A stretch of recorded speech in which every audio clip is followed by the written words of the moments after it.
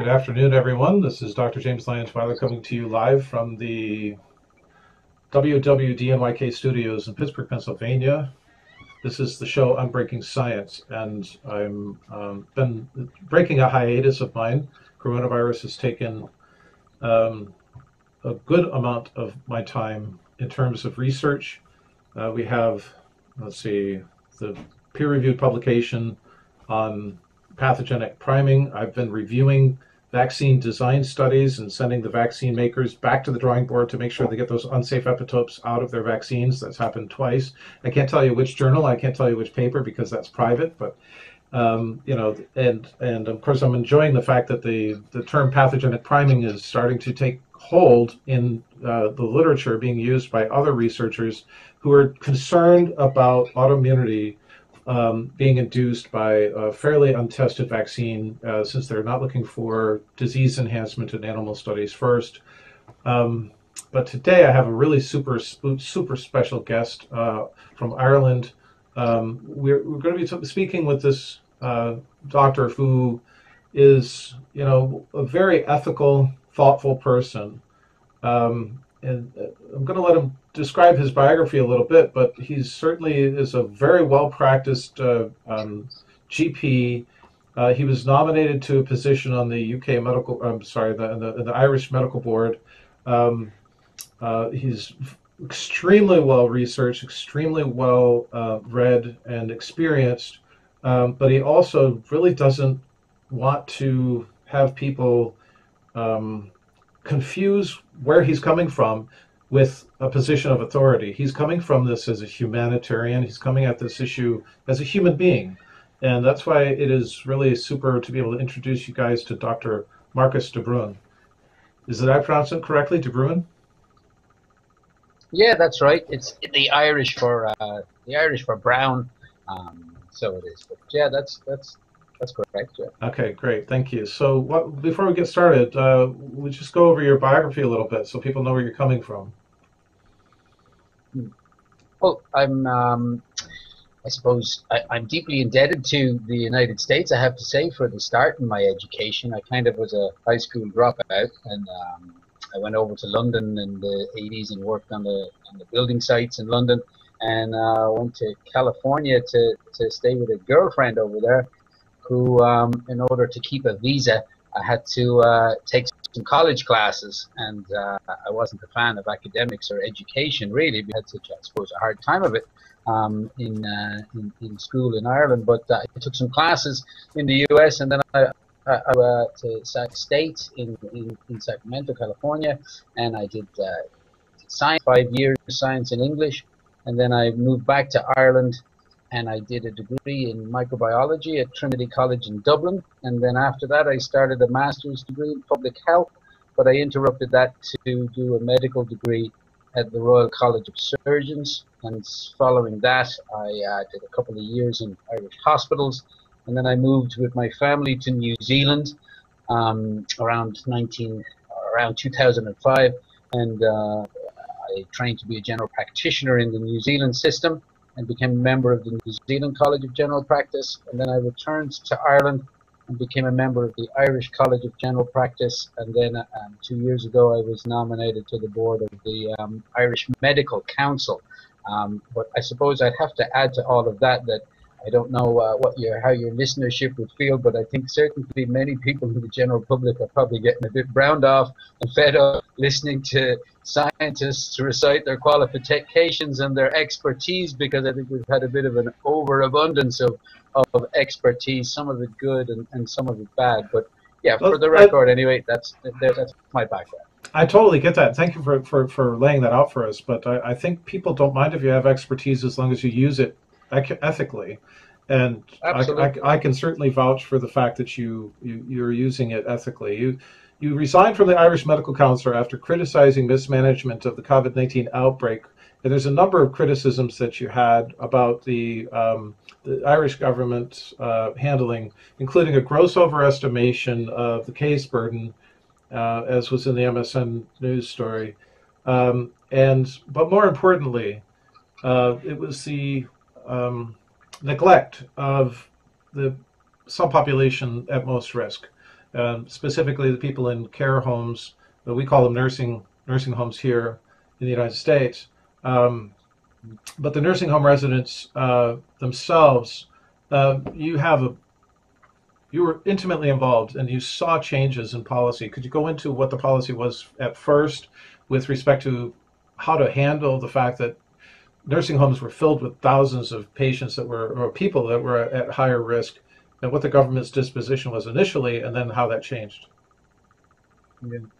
Well, I, I suppose, you know, trying to put it in perspective and kind of stepping back and looking at the bigger picture of things is kind of, it's kind of what what I, what I was doing. I think what most people were doing is kind of COVID was moving across Europe and uh, coming towards kind of tracking through different countries and coming towards Ireland. We were the, the last country in Europe to essentially um, to, to, get COVID, and so we, we, we kind of knew what was coming. Had a good idea, as you know, started out in Wuhan and well, at least officially or formally out there in December 2019, and then slowly made its made its way, well, relatively slowly made its way across across Europe and arrived in Ireland.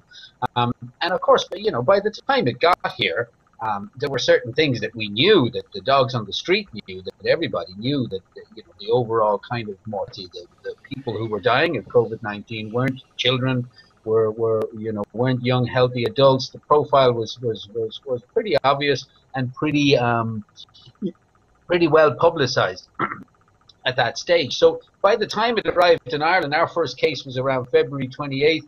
Um, when we detected our, our, our, our, first positive case in Ireland, and you know, so by the time it, it, it arrived, we kind of knew what it was going to do, you know. So we've got a relatively small population of nursing home residents. Well, what, you, what you mean by that is that is you you already knew that there was a linear relationship between the age of a patient and the risk of serious critical illness and death. The, the older the patient, the higher the risk. We already knew that. That's what you mean, right? Absolutely. Yeah, absolutely. It wasn't something that I was particularly genius in figuring out. It was all over the internet. You know, it was all over the, the, the, the, stats were there for, for, for the government and for everybody to see. Um, so and, and indeed, when we arrived in Ireland, the, the, the, government response was the formal response telling people was was to kind of you know um, we were instituting lockdown and we were instituting various restrictive measures on the on the population. And the, the government line at the time was you know we've got to kind of you know help them by by protecting protect them by protecting ourselves was kind of one of the taglines the government was using. So the the initial um, the initial motivation at the start was to look after the vulnerable you know and of course as I said we have a small population of residents in Ireland with 25,000 um, people who live in nursing homes. So you would imagine with a relatively small number of, of nursing home residents that, that the focus is, is going to be on, on those people. Um, specifically for the fact that, you know, not only the fact that COVID affects, you know, or, or the mortality is much higher in the population. First, there's the issue of comorbidity, and it affects the elderly, and the elderly with comorbidity or underlying conditions are going to be the people who are going to be most affected. So, in a very obvious sense, in, in all Western society, you find the elderly with comorbidity. Well, you find those quite obviously in nursing homes. So you don't need to really be a scientist or you know really be a, a, a, a, a hotshot at statistics or anything to figure out where the disease is going to hit and the who the vulnerable people essentially are. So when it arrived, I suppose in the it, when it when I started to to see cases in the nursing home in around March, um, you know, lo lots of things started to emerge in terms of the, the government response that were making me very unhappy and very nervous about how the thing was being managed. I, you know, uh, in a, in a in a rather simplified sense, you know, the, the, the, key things that were happening really was for a, a period of three weeks in our nursing homes, there was a policy of not testing the residents. If you had a nursing home in Ireland where you had a case, then you weren't permitted to test any more residents because we were worried about a shortage of testing. So yeah. that was the first kind of policy that was very, uh, very, very reckless. And it, it, whilst that was going on, that went on from kind of March um, March 21st until kind of April uh, 19th, so for about a, a three week period. But um, that policy was instituted, and then during that, that time, because there was such a panic and such a fear in the general public, the and we saw those horrific pictures of Italy and the, the coffin trucks and the morgues being overfilled. There was a huge sense of evolving panic in Ireland. So the government, you know, perhaps rightly or wrongly, tried to clear out the hospitals and anybody who was kind of in a, in a, in a satisfactory state uh, or a, a recovering state um, with reasonable help was sent to the nursing homes sector um, to recuperate, and any available beds in the nursing home were kind of um, occupied by hospital patients to free up hospital space. So, in my particular nursing home that I look after, we had 50, I had 52, 53 residents there. Um, and the, the hospital started, but we had a lot of capacity because it's a newly built facility, so we have a lot of empty beds. So the government kind of transferred about 15 um, patients from our local hospital and as these patients were, were arriving, I only kind of realized into about four or five days or a week or so into the process that none of these residents, none of these patients being transferred from the hospital had been tested, and uh, and some of them were symptomatic. So there was a kind of a, a, a, a policy to preserve tests um, for the the, the, the, the majority of people in the population and withhold the tests from the elderly in the nursing homes and from people who were, you know, symptomatic being transferred into them. What we were told was if somebody arrives in your nursing home and they're symptomatic, we'll just quarantine them in, in their own room for, for, for two weeks. So all of this kind of stuff, and then we had difficulties trying to get PPE, huge difficulties trying to get PPE, trying to get extra oxygen supplies because you know we were told you know I was told and all the doctors in, in, looking after nursing homes we were told well look try to get DNR or do not resuscitate status established for the residents so that you're not unnecessarily sending um, residents with, into the hospital to be resuscitated if they're in a kind of a end of life care situation where you and the family and the resident themselves agrees that they don't want to go in and have you know the electrodes, the jump leads attached to their hearts, and the, the ambulance, all of that sort of thing. So, so the government was asking us to put this DNR status in place for residents, and, and you know we're happily doing this, but I, I, I say to the management, but, but, but, but with but with the patient's and the family's consent. Of course, yeah. Oh, absolutely, mm-hmm. absolutely, and it would only be something that, that was it's done un, very, very un, un, Unlike unlike we now know is going on in New York City hospitals, where they were giving people DNRs even though family did not consent.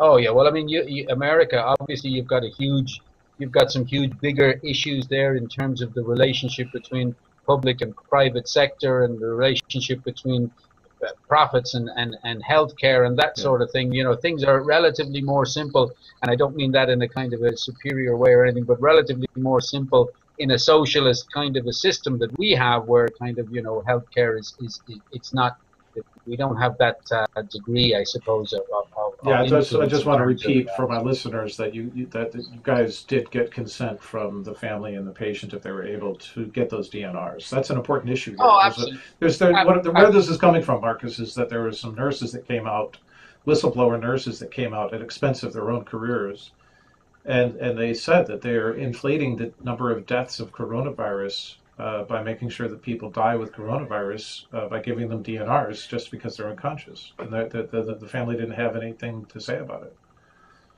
It's, oh, look, lots of that I think went on. Yeah, definitely, lots of that went on. I mean, even in even in Ireland, I'm not kind of you know bigging up our socialism, but you know, even in Ireland, the nursing home sector itself. I mean, nursing homes in Ireland are, are private entities, and that's part of the reason that, that, that they ran into so much difficulties and that they had a somewhat antagonistic relationship with the state because as far as the state is concerned, private entities like nursing homes should be buying their own PPE and should be. So there was a little bit of kind of that, you know, um, um, holding on to the goodies themselves and not giving it to the nursing homes because they were supposed to buy it themselves. And there was a little bit of that if the nursing homes were, had cases of COVID that were diagnosed, they would get a certain degree of the COVID funding and COVID money. So, you know, I think as time progresses in probably all jurisdictions, this relationship between the emergency COVID funding that came into place in every country, probably in, in, in the world that has had COVID,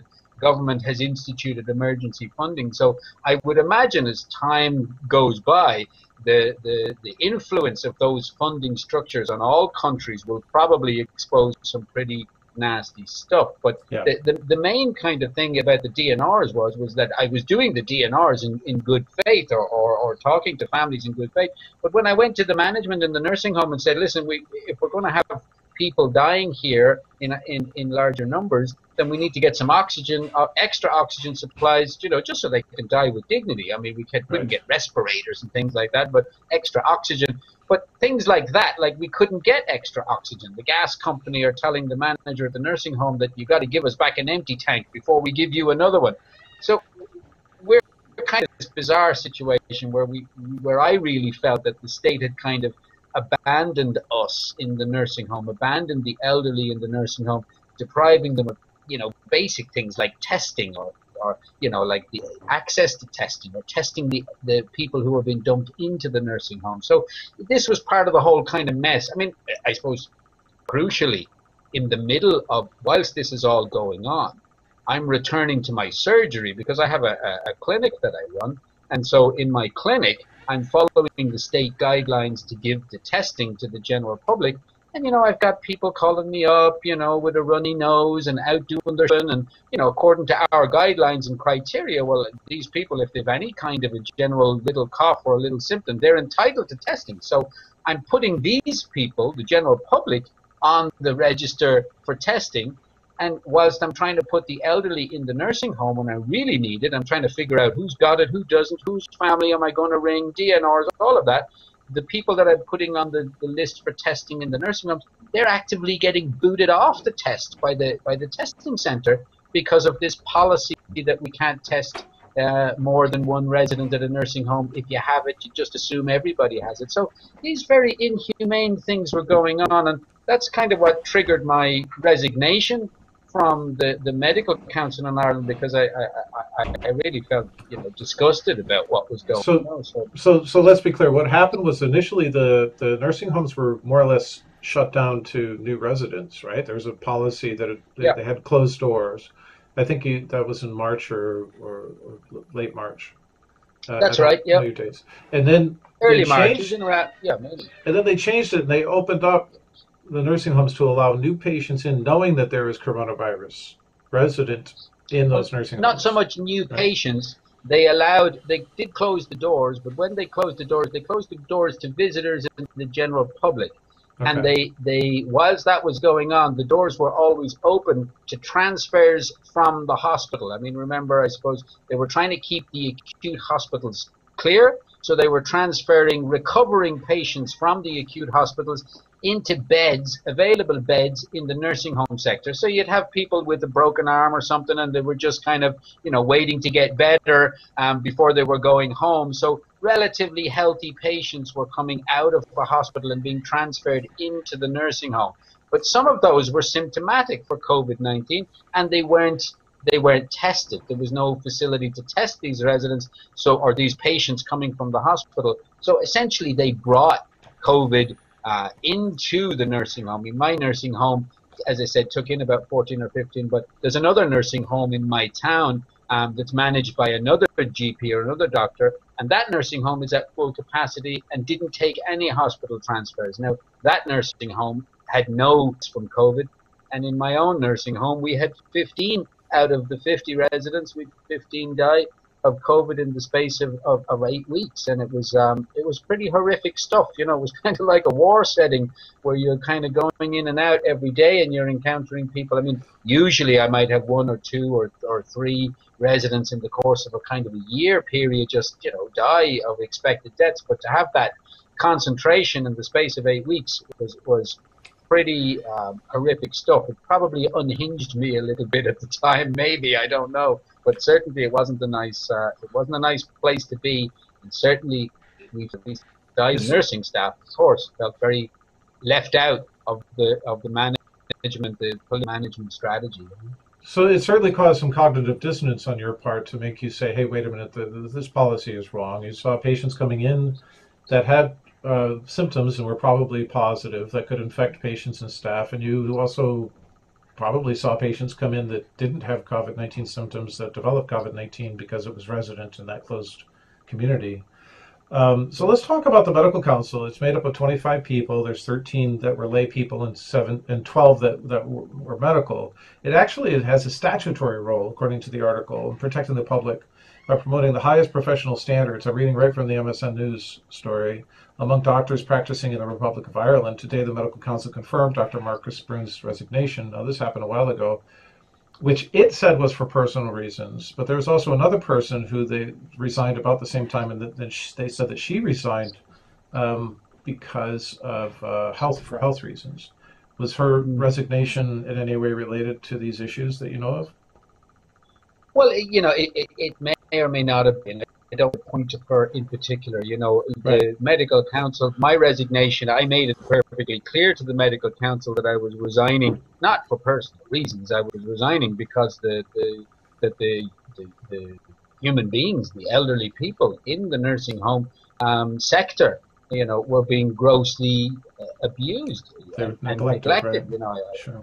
and, and, and and that's why I resigned. But they they of course get a the public statement that I was resigning for for personal reasons because you know in Ireland and, and probably in many countries institutions are like the medical council is very much tied into the government. The government you know is is responsible for a good degree of its funding and its appointments to the medical council and the medical council would have a close relationship with the minister as such you know. So um, my criticisms certainly um, were described I suppose as, as for personal reasons but that's just more of a political description, I suppose. You know? Yeah, of course, of course, we expect these euphemisms from from such a yes, position. Yes.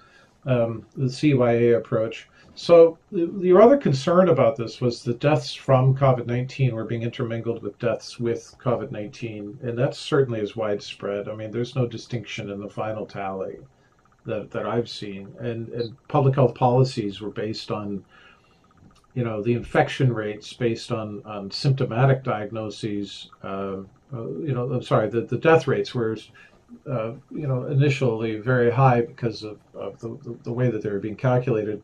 And when you have the infection rate, say in the United States, we now know from the CDC, uh, you know, molecular test positive infection case fatality rates is 0.26%. That's a very different situation population wide than you see for the elderly populations. And I commend you substantially uh, and, and for standing up for that for that population.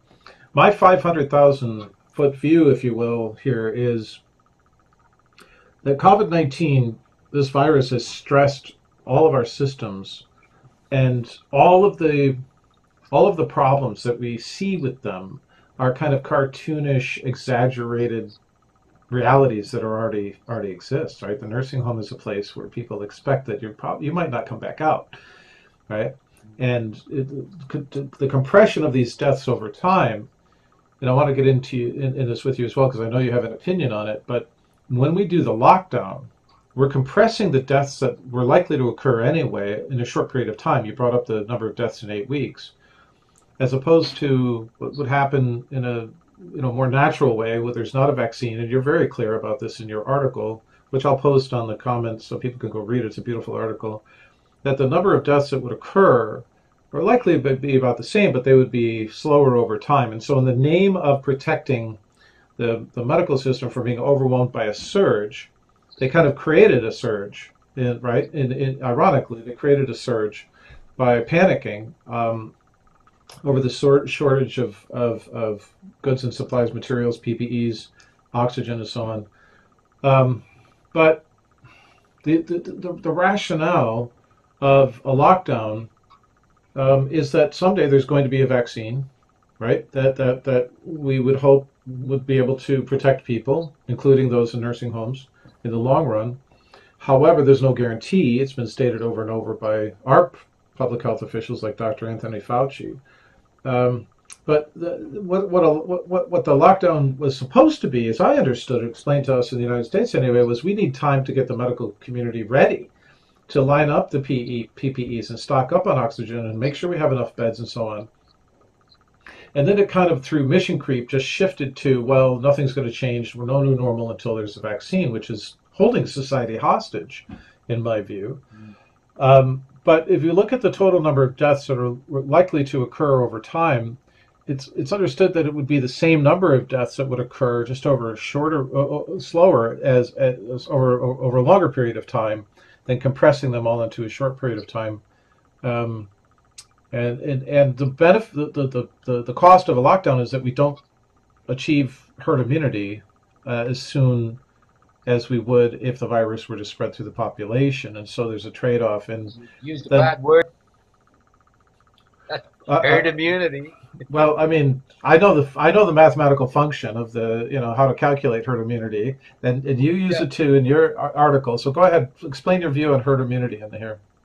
Oh no, I mean, I, I what when I say you used a bad word in terms of herd immunity, you know, I, am of the of the belief and of the opinion that never has there been Uh, uh, uh, an error of nomenclature in the history of science that has resulted in such catastrophic misinterpretation by the general public of how nature works. You yeah. know, this this word herd, you know, is it has unfortunately, I think, done more damage to the appropriate management and interpretation of how nature works. You know, I mean, as soon as it came out, as soon as as soon as as, as Ferguson and, and as soon as it came out in the UK that uh, that this there was a thing, a magical thing called herd immunity well, I mean, the public went mad. You know, the you know the, the word herd. You know, it conjures up images that we're going to be treated like animals, and, and you know, Nietzsche referred to the the rabble as the herd. You know, I mean, it's it's yeah. it's a horrible word, and and unfortunately, you know, unfortunately, policy in many respects in many countries was dictated really by you know by public opinion. You know, so so right. the minute this term came out, herd immunity it did it has done more damage i think to, to the public understanding of what's going on and it's created more enemies to nature than one could have ever ever imagined. So i think when history looks back at this process the simple nomenclature itself of herd immunity will be certainly cited and recognized as one of the most damaging parts of this entire process just because of the effect that it's had on the herd, on on people. I, I couldn't agree more because in, in, Ebola we were told that there were going to be 21 million deaths in Africa by January 2015, and then a postdoctoral, well, a faculty at, at Yale who was a, who, who was a, a graduate student that I knew in evolutionary biology named Jeff Townsend, kind of tapped the CDC on the shoulder and said, "I've done some modeling here. You guys forgot that Ebola travels in social units. It, it's not a random Brownian motion model, right? It's not just uh, everybody's equally likely to expose to other people.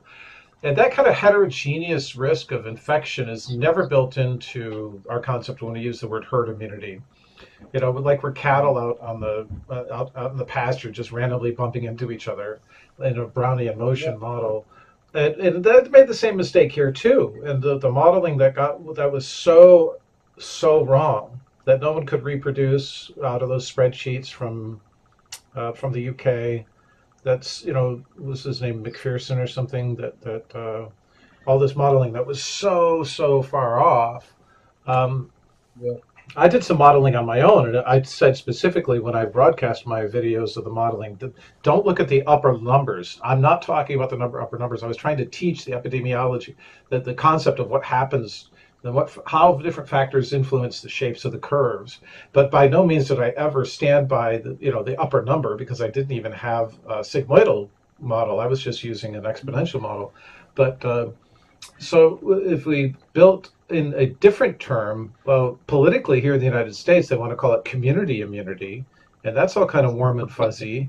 That's all warm and fuzzy. Community immunity uh, in reality, a little bit like freedom fries when you reinvented the French fry and you came up with freedom fries. I mean, but that's yeah, kind of exactly. gone now, isn't it? No yeah, it's totally anymore. gone. Nobody, nobody calls them freedom fries. Trust me. Well, maybe maybe natural immunity might have been a, a better thing, but there's no two ways about it. The the notion yeah. of herd immunity has done more damage you know to to i mean you know i mean I, I, would imagine most of your listeners or most people would know that herd immunity or natural immunity is. You know, I mean, it's it's essentially you know when we've got the the common cold virus and it comes around every year and it hits the population. You know, it's it's it's it's it affects people and people you know get the cold and then they become they clear it and they develop antibodies to it and they have a degree of immunity to it and that process builds in a population and maybe it's somewhere between 50 and 60 percent become immune having had the cold and relatively minor symptoms.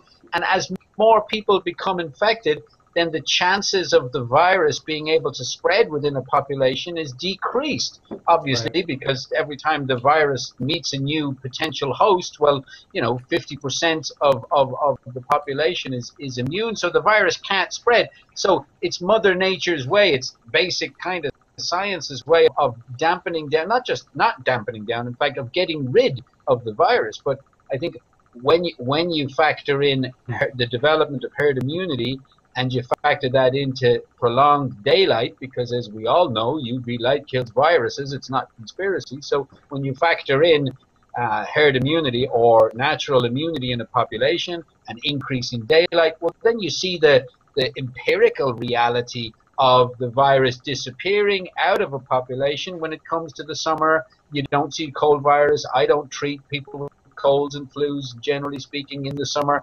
Um, so it goes. So it's it's Mother Nature, the, the, the process, the global or larger process of viral evolution within a population and developing immunity and natural daylight. And and when when we institute things like lockdown, well, we, we're having this rather homocentric conversation with Mother Nature, thinking that we can kind of somehow control all of these forces. Perhaps we can influence them, but all we can do with lockdown is just simply try and dampen down the virus and try and kind of keep the virus at, at low levels. But it's a dangerous thing to do for, for obvious reasons because if you preserve a virus in the community, the longer you preserve it for, well, you give the virus the, the opportunity to do what all living things do, which is evolve. So you know, it's a fun. There's a fundamental kind of ludicrous and idiotic kind of a notion to the lockdown scenario where you're preserving a virus in a population, giving it the popul- giving it the opportunity to evolve, and then telling people that, well, look, you know, we'll all be fine until the vaccine comes. But, you know, I mean, I, I do understand COVID evolves relatively slowly, but nonetheless, the basic concept of keeping the virus in the community until a vaccine comes, you know, it's it's it's it's, it's dangerous. It's unheard of. It's unprecedented. Oh, it's it, it's a complete. It's a sociological, po- political, psychological, you know, mass hypnosis experiment that absolutely has no precedent anywhere, anywhere no. in the history of humanity. And and we look at oh, no, exactly. we look at Fauci and we look at CDC and we look at the NIH and we look at our public health leaders, and we say, okay, we will we will do what we have to do because you promised me a better future than I have right now. But they don't realize people that fall for that don't realize that the reason why your presence is, is so is, is so miserable is because the decision to lockdown, which was supposed to be a short-term lockdown. The only time I supported the lockdown was under this condition. We do it for a couple of weeks, let the medical community get their get their shit together. Then we introduce antivirals prophylactically at the points of contact of people that have been in contact, and we use hydro- hydroxychloroquine. I was among the first people to list it in my blog article. We use hydroxychloroquine. We use anything that's available. We enhance the immune system with vitamins. Anything, you know, anything that might help but won't hurt, right? Yeah. And then we systematically go about, okay, you, you, you, you have been exposed, you have been cleared, you've done your time. Why should people have to do their time over and over and over again simply because there's something, you know, circulating and we, we can't afford it. It was intuitive to me that we can't afford and we can't afford it not just in terms of monetary, but we can't afford it in terms of the deaths of despair. We can't afford it in terms of the destruction of the economy, the loss of, of uh, relationships in the workplace, the loss of small businesses, all of it. And, and everybody's keenly aware that this is completely unsustainable. And yet, even now, we have, at least in the United States, this mentality. We're given this mentality. We're handed down this mentality. They're supposed to swallow hook, line, and sinker that well, you know, just wait en- enough months, um, you know, and and we'll have a vaccine. The first time that they said that was 18 months. When was the last time we shut down our entire economy for 18 months? I mean, there's really something fundamentally wrong with the brain that speaks that those words. We're going to just keep you in lockdown for 18 months. It doesn't add up, and there's something terribly, terribly wrong with that thinking. No, look, there, there definitely is something terribly, terribly wrong with with thinking as a, at, at the moment. You know, my wife is reading a, a fantastic book at the minute. It's um, I forget the name now, but it's by a recent Pulitzer Prize winner, and it's about the migration of Black America from the South after slavery, um, the migration into kind of North America, and kind of explaining how kind of you know the evolution of racism and the evolution of black ghettos and, and the evolution of the race problem itself in the US. Now, she sometimes kind of, you know, while she's reading, when we're in bed, she'll, she'll, she'll let a shout out, oh my God, that explains everything, you know.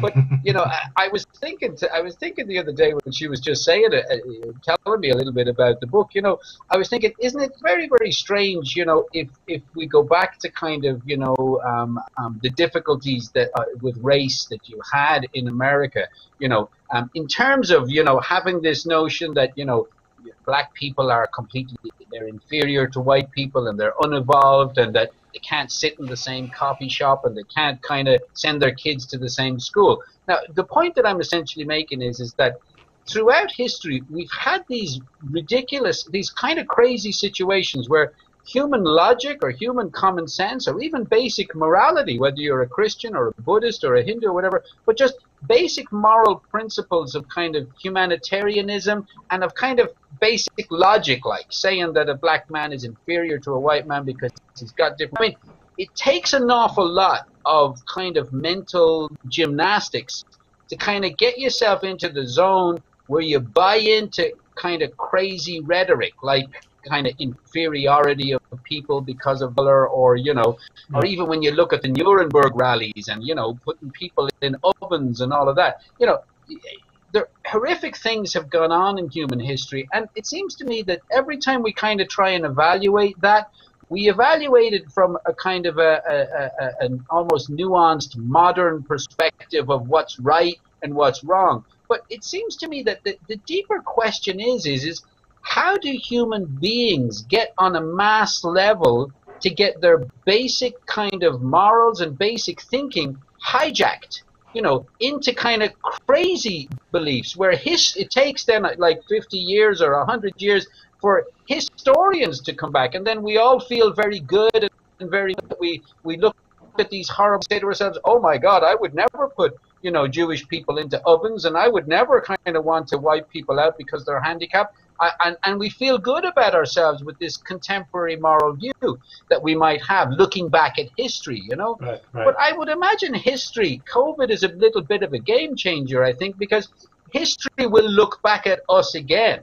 And history will say, oh my God, those idiots. Like, how could you possibly negate Mother Nature, UV light, herd immunity, basic kind of principles of science. How could you negate all of that? How can you have people driving in their cars with masks on? And how could you preserve a virus in society and allow people to kind of, you know, buy into all of this? But I would imagine it's going to be for the historians to look back. But the, the crazy thing is, is why do we always kind of get the common sense, have to wait 50 years, common sense view to kind of why isn't there kind of people who are like, why am I a minority? I know maybe I'm a bit wacky, and maybe you are too, Jack. I don't know, but you know, why is it that Count you know when we're yeah. talking a little bit of sense, old-fashioned science, just common, basic? I mean, you made a distinction on one of your podcasts between kind of um, you know basic science and and and uh, practical science, you know, but like the the basic science here of kind of nature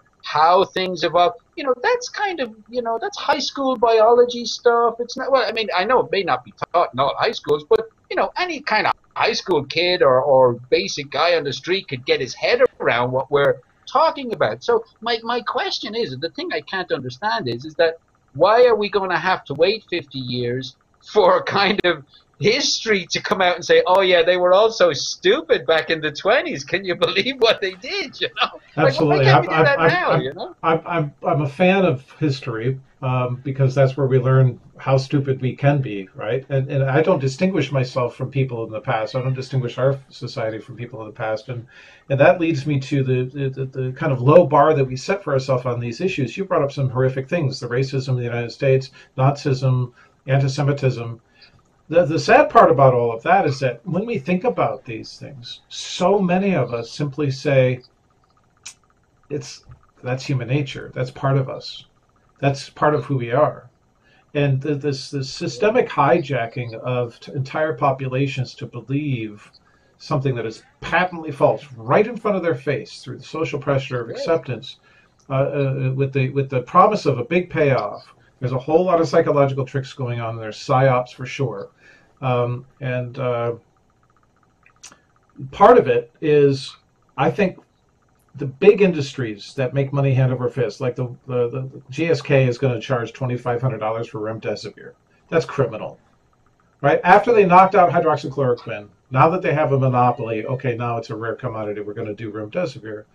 They have figured out in a very substantial way that in a battle with reason, their capitalist tendencies, and I'm not a communist by any means, but their capitalistic tendencies, which we all have, win in a stalemate.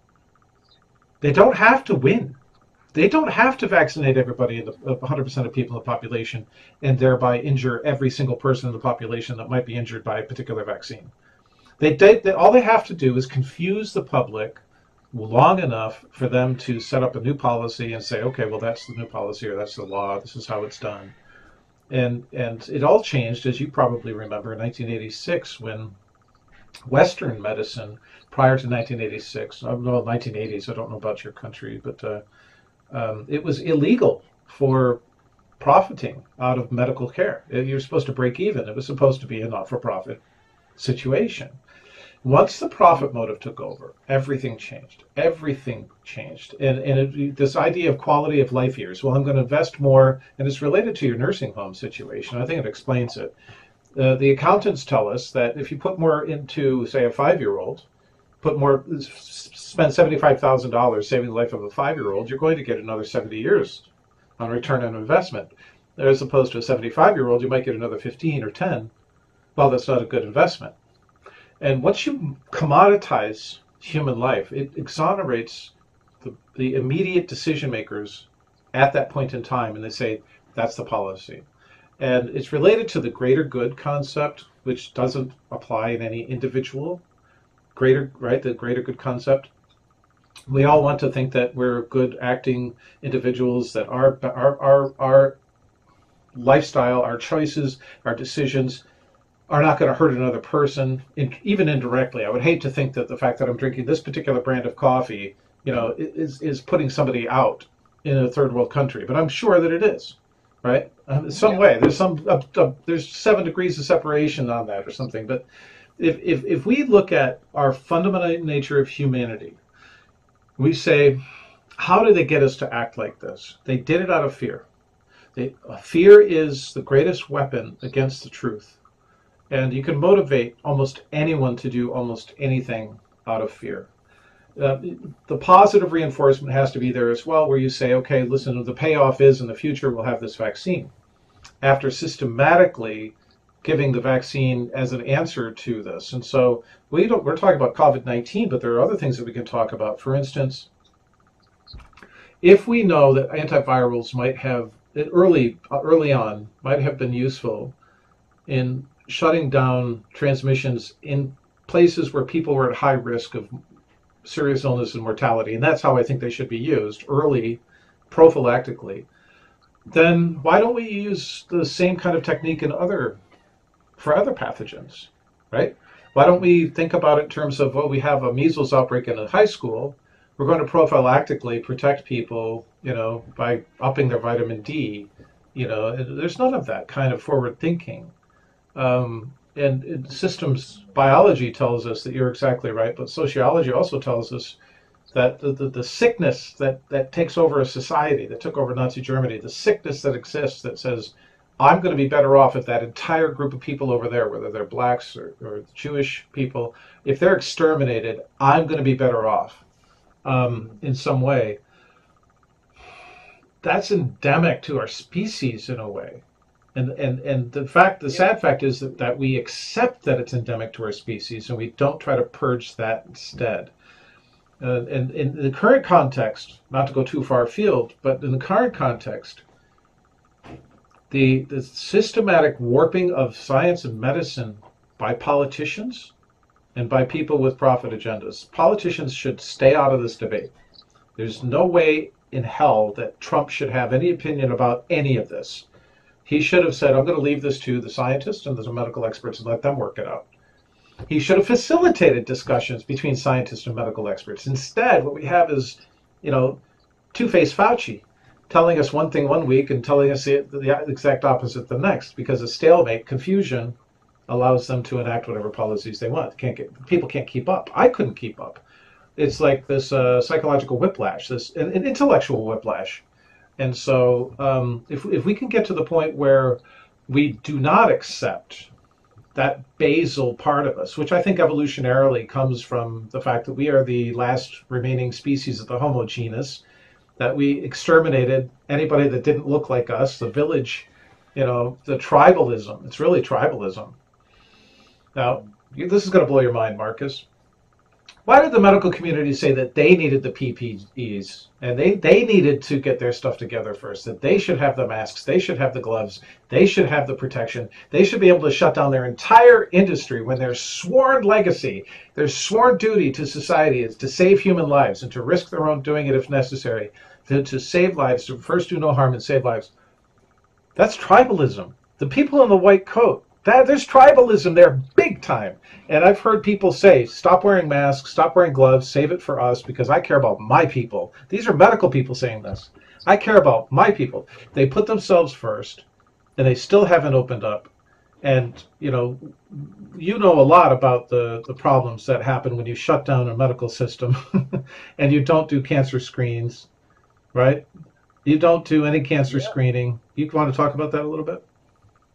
Yeah, well, you know, I, I, I, suppose you know there's there's a lot of things there in, in what you've said, you know, and I would agree with, with perhaps most of it. You know, um, certainly, I, I think you know, COVID nineteen is a is a is a game changer. It's a game changer for philosophy and it's a game changer for science and it's a game changer for politics you know it's, it certainly is and and it has to be you know but i think you know getting down, getting drilling into the kind of the core issues that are being exposed here, what the kind of the dirty kind of underbelly of science, the dirty underbelly of politics, and the dirty underbelly of us, we the people, you know, uh, in terms of our kind of propensity to follow the herd and kind of talk, we do what we're told, which is in some respects is a good thing, but to not kind of think independently and analyze things. But I think if we're if if we're getting into that zone, we're, where we're kind of looking at this in a deep and honest way, then we have to ask what motivates all of us, motivates human beings in general.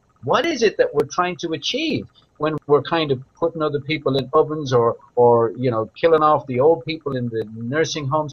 You know, what what are the kind of deeper instinctual imperatives that kind of drive the human being? And I think science and evolutionary biology has never really gotten its head around that. We have this kind of bizarre bucket we call instinct, you know, and we say that there's an instinct to dominate or an instinct to eat and an instinct to have sex and all of this sort of stuff, you know, and then behavior comes out of these instincts, you know, but I think we have to bring it back when we're looking at what's going on with COVID and our reaction and the mistakes we made, you know, we have to bring it right back to what most motivates us. You know, I mean, I'm a doctor. I'm, I'm working in, in, in Ireland. I, I pay a lot of tax. I pay 51% is, is tax bracket that I pay. But having said that, I make a lot of money. You know, I make too much money. I make more more than what I need, you know.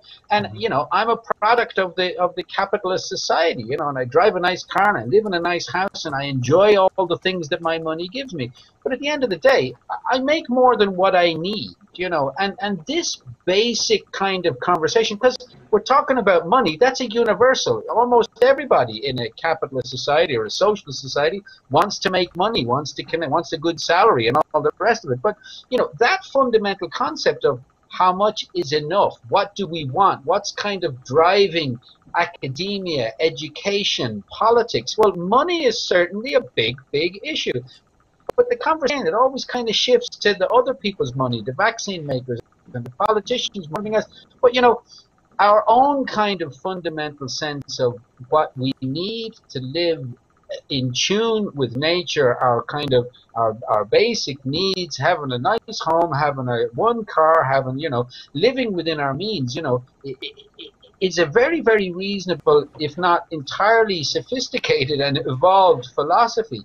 And the absence of that, the absence of being able to kind of rationally approach our needs, what we actually need, you know, that causes a huge number of problems in our society. And then we kind of are at the stage where we're on the outside of those problems, looking at them and tipping away at them and everything, but we're not addressing kind of the fundamental drive that we have ourselves to hoard, to make as much money as we can, to allay our fears of the world by having a large amount of money in the bank, you know. And this is very primitive sort of thinking on our part because science technology, reason, mass production has all kind of have brought the Western world to a point where we could actually live very, very comfortable, happy, sophisticated, minimal, educated lives with, with if we effort. kind of reevaluated this notion of kind of, you know, how much we need and hoarding things and owning things, you know. So,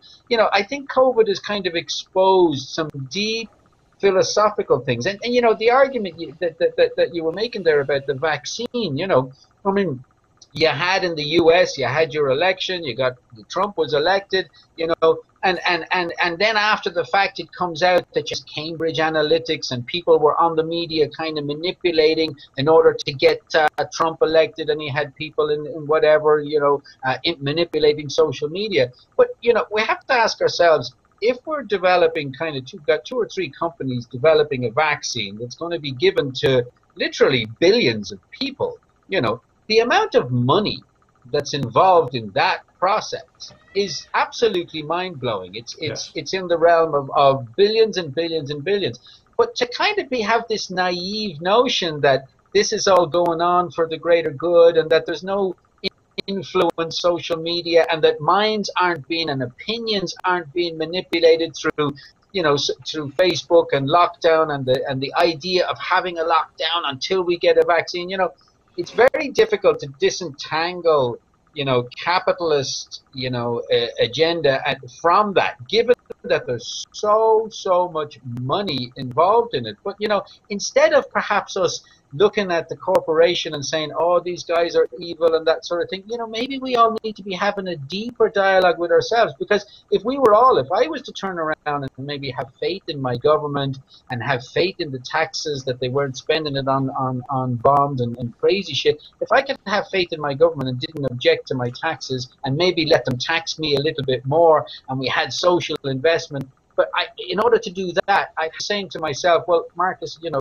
you don't need to make as much as you do. You don't need to hoard all of these things. You've only got another 20 or 30 years left and you're dead. So what's the point in it anyway? But I, I, the point I suppose I'm trying to make is, is I think we need a deeper dialogue with ourselves as a kind of individuals in the Western world because we've got the science, we've got mass, we've got the capabilities. For God's sake, we can send people to the moon and aircraft carriers yeah. to the Gulf.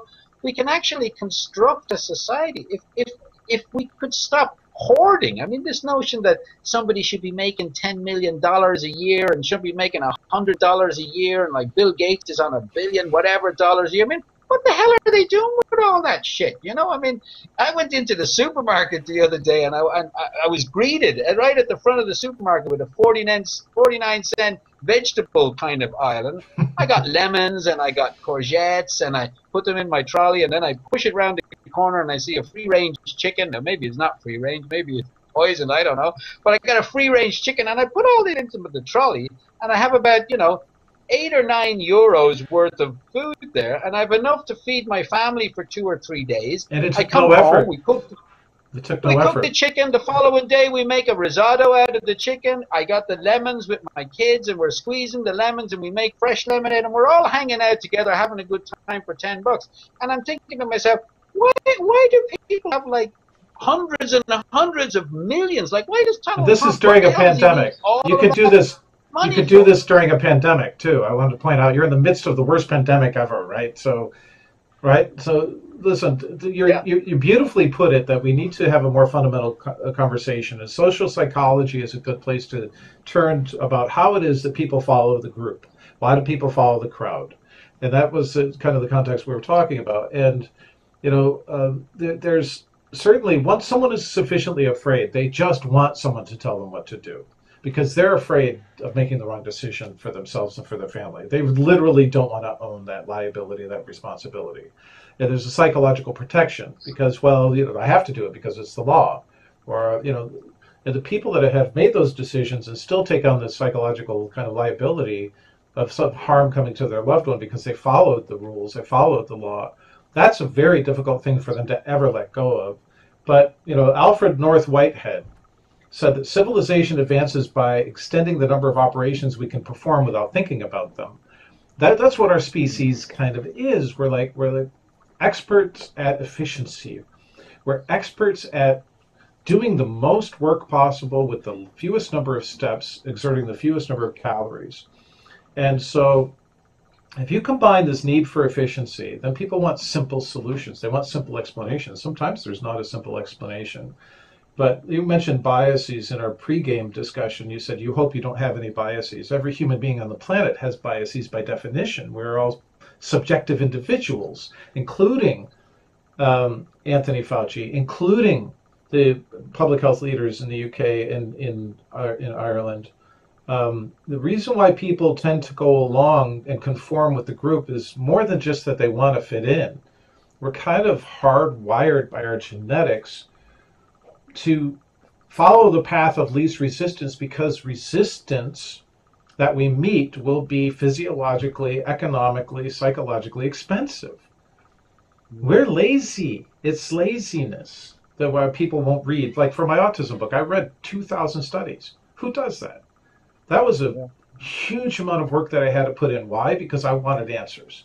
I wanted answers because I th- thought it was time that somebody actually consume literature, knowing that very few scientists, even at the cutting edge in a particular discipline, actually are aware of all the research that's going on around them. They're kind of aware of what will get their next grant funded. They're justifying their next grant or the bridge money. So Mm. we're not always in control of our thoughts and our behavior. Sometimes our thoughts are definitely taken over by other people. I'm not talking about thought control like a conspiracy theorist. I'm talking about influencing of what we're doing right now. I'm influencing people's thoughts. You're influencing people's thoughts.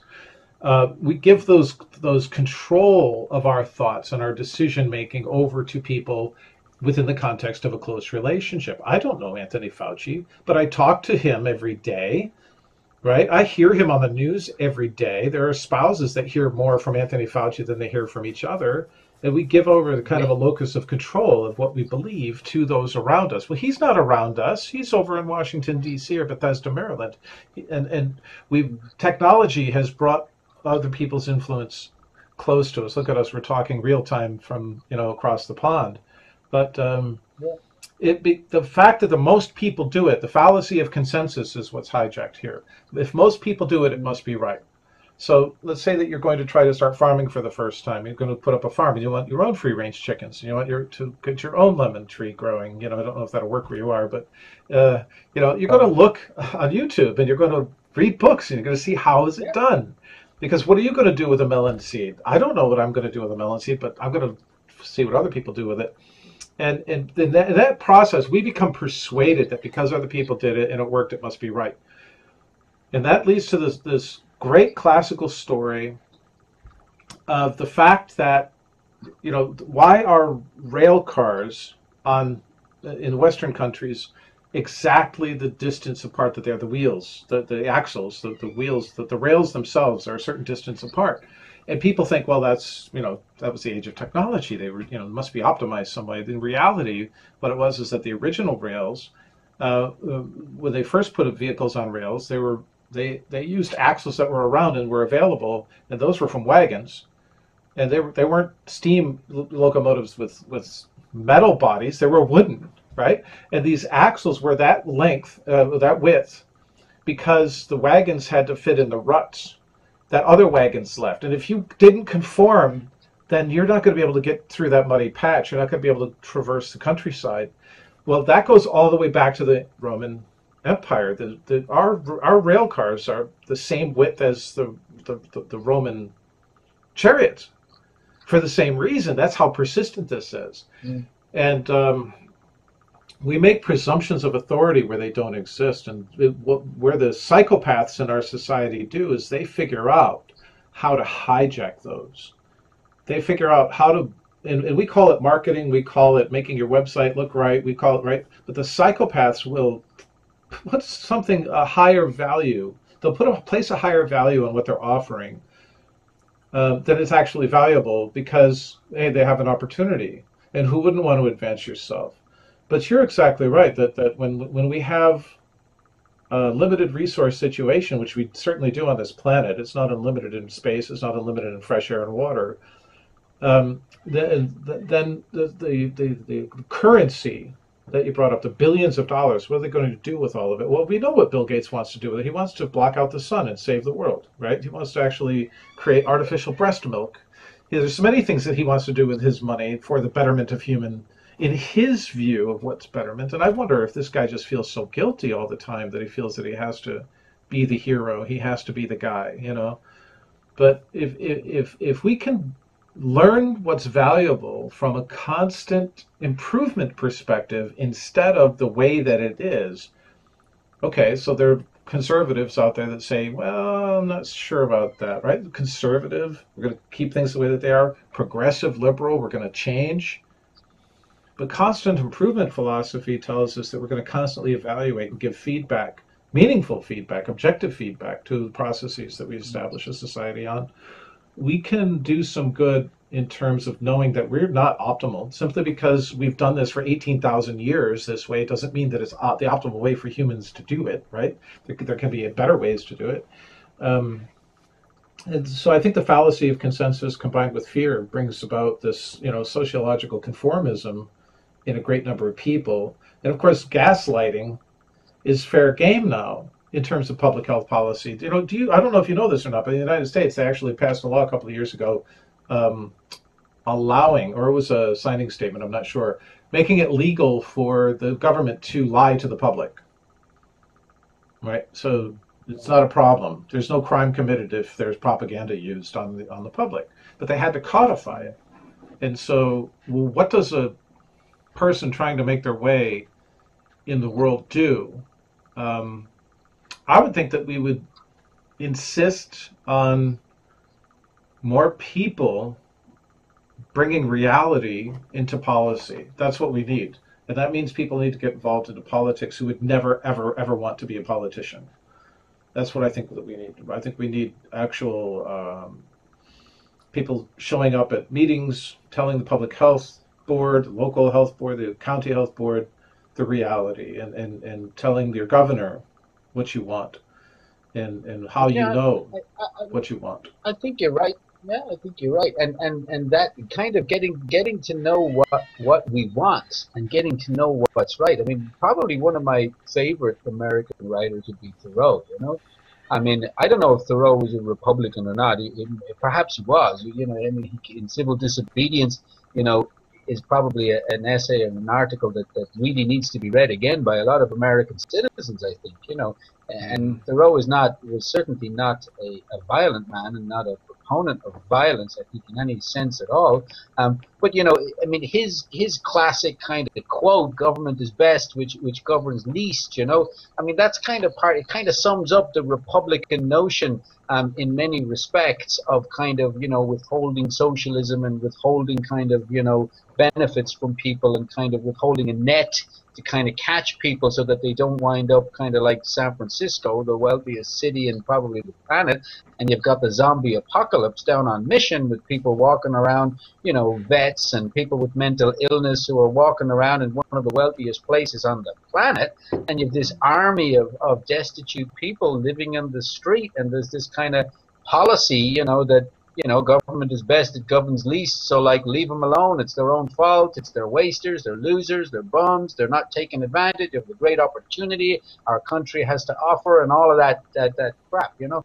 But I, I think that misses Thoreau's point. It misses Thoreau's point hugely, you know, uh, and perhaps maybe if, if Thoreau's point was to be made maybe more concisely, maybe it should be said that government is best which needs to govern least. Now, I think when you put in the needs to govern least, you're putting back on the people that they have to have a sense of self-governance. You know, yeah. we we have to kind of we have to have an independence, an ability to evaluate what we want the state to do for us and what the role the state is. Now, I'm not saying that we should have a zombie apocalypse with people around San Francisco and then techie guys sitting in coffee shops making, you know, millions of dollars looking out the window munching on an avocado salad and talking to Siri and trying to find out if their Tesla shares have gone up, and then some guy is walking past who's maybe a Vietnam vet or maybe he's mentally ill or maybe was raped and abused as a kid and he's homeless.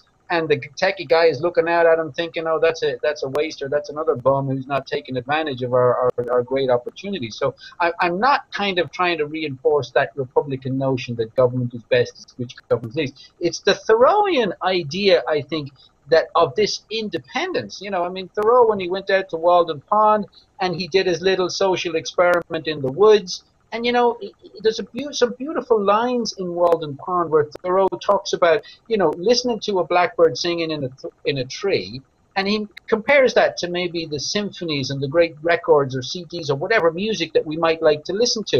You know, sure. and, and he, he, he makes the point that when you're listening to that blackbird singing in the tree, you know, of course it sounds silly and, and, and maybe childish, but you're listening to a piece of music there that's the culmination of uh, millions of years of evolution that has a purpose in the ecosystem, a purpose in the environment, that that's connected into the cosmos in a deep kind of a spiritual and realistic and scientific and biological way.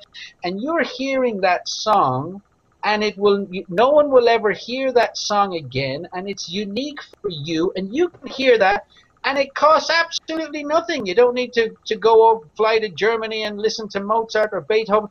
You you know I, what Thoreau was saying. This evaluation of what's important to us as human beings, simple, basic, honest realities of yeah. having sex, have a smoke if you like to smoke, have a smoke if you like a glass of whiskey, have a glass of whiskey.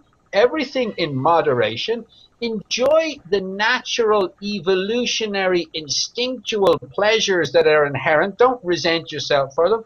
Do things in moderation. Enjoy your body. Enjoy your health. But we seem to have lost the plot and i think that there's a you know, and we're consumed by consumption and owning shit and everything else. And, you know, there's a big difference between, for example, like COVID in the US and, and COVID in Ireland. You know, in, in, in, in the US, you've got a lot of, of high levels of obesity, high levels of diabetes. So, you know, we over here in Ireland and most of Europe where we don't have those problems to the extreme, and you know, 90% of the COVID deaths are kind are over the age of 65. Well, you're going to get a skewed pattern in the U.S. because, as we said at the start, it's it's it's comorbidity and age.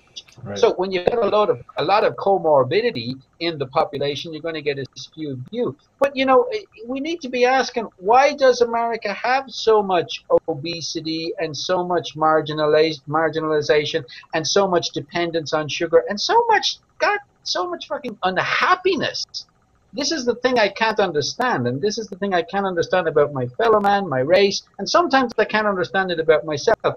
Is that why do we choose these complex scenarios to get involved in and, and in trying to kind of achieve and, and be something to other people and live a, an external life when the fundamental human instinct instinct as i said of having sex enjoying your nice food having a conversation reading a book basic stuff makes us all and keep becoming obese diabetics from becoming overweight, depressed, suicidal, homeless, all of these things, these basic kind of things that keep us happy.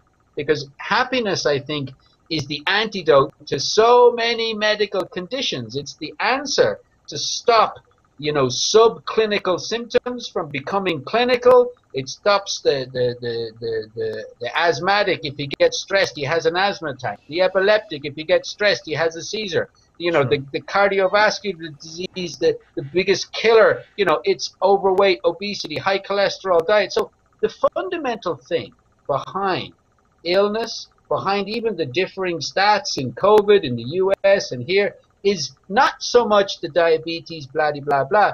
It's the unhappiness of the human subject and our inability to think independently of the herd independently of our government. This is what I think Thoreau, Thoreau was talking about, you know, right. to think independently and enjoy the biological, instinctual pleasures. Now, I'm not saying that people should run around and kind of, you know, uh, jerking off on the sidewalk and stuff and, you know, experiencing their pleasures in a crazy way, but I'm saying a rational approach to what's important in life, to the pleasures in life, you know, that is an antidote to what's going on with COVID, to what's going on with vaccines, to what's going on with materialism and capitalism, to an evaluation of Trump on his kind of merits. If we kind of look at people, or Bill Gates, and we ask ourselves, well, are these guys really intelligent if they're kind of spending so much time trying to hoard all of these billions when we know it's kind of you don't need them, you know? So yeah, there's, there's a, an there's individual ability to think about things and think about our own basic needs seems to be what's missing from the dialogue. Absolutely. And rugged American individualism, I'm so glad you got to spend some time and see some of that here. Uh, is forms a core basis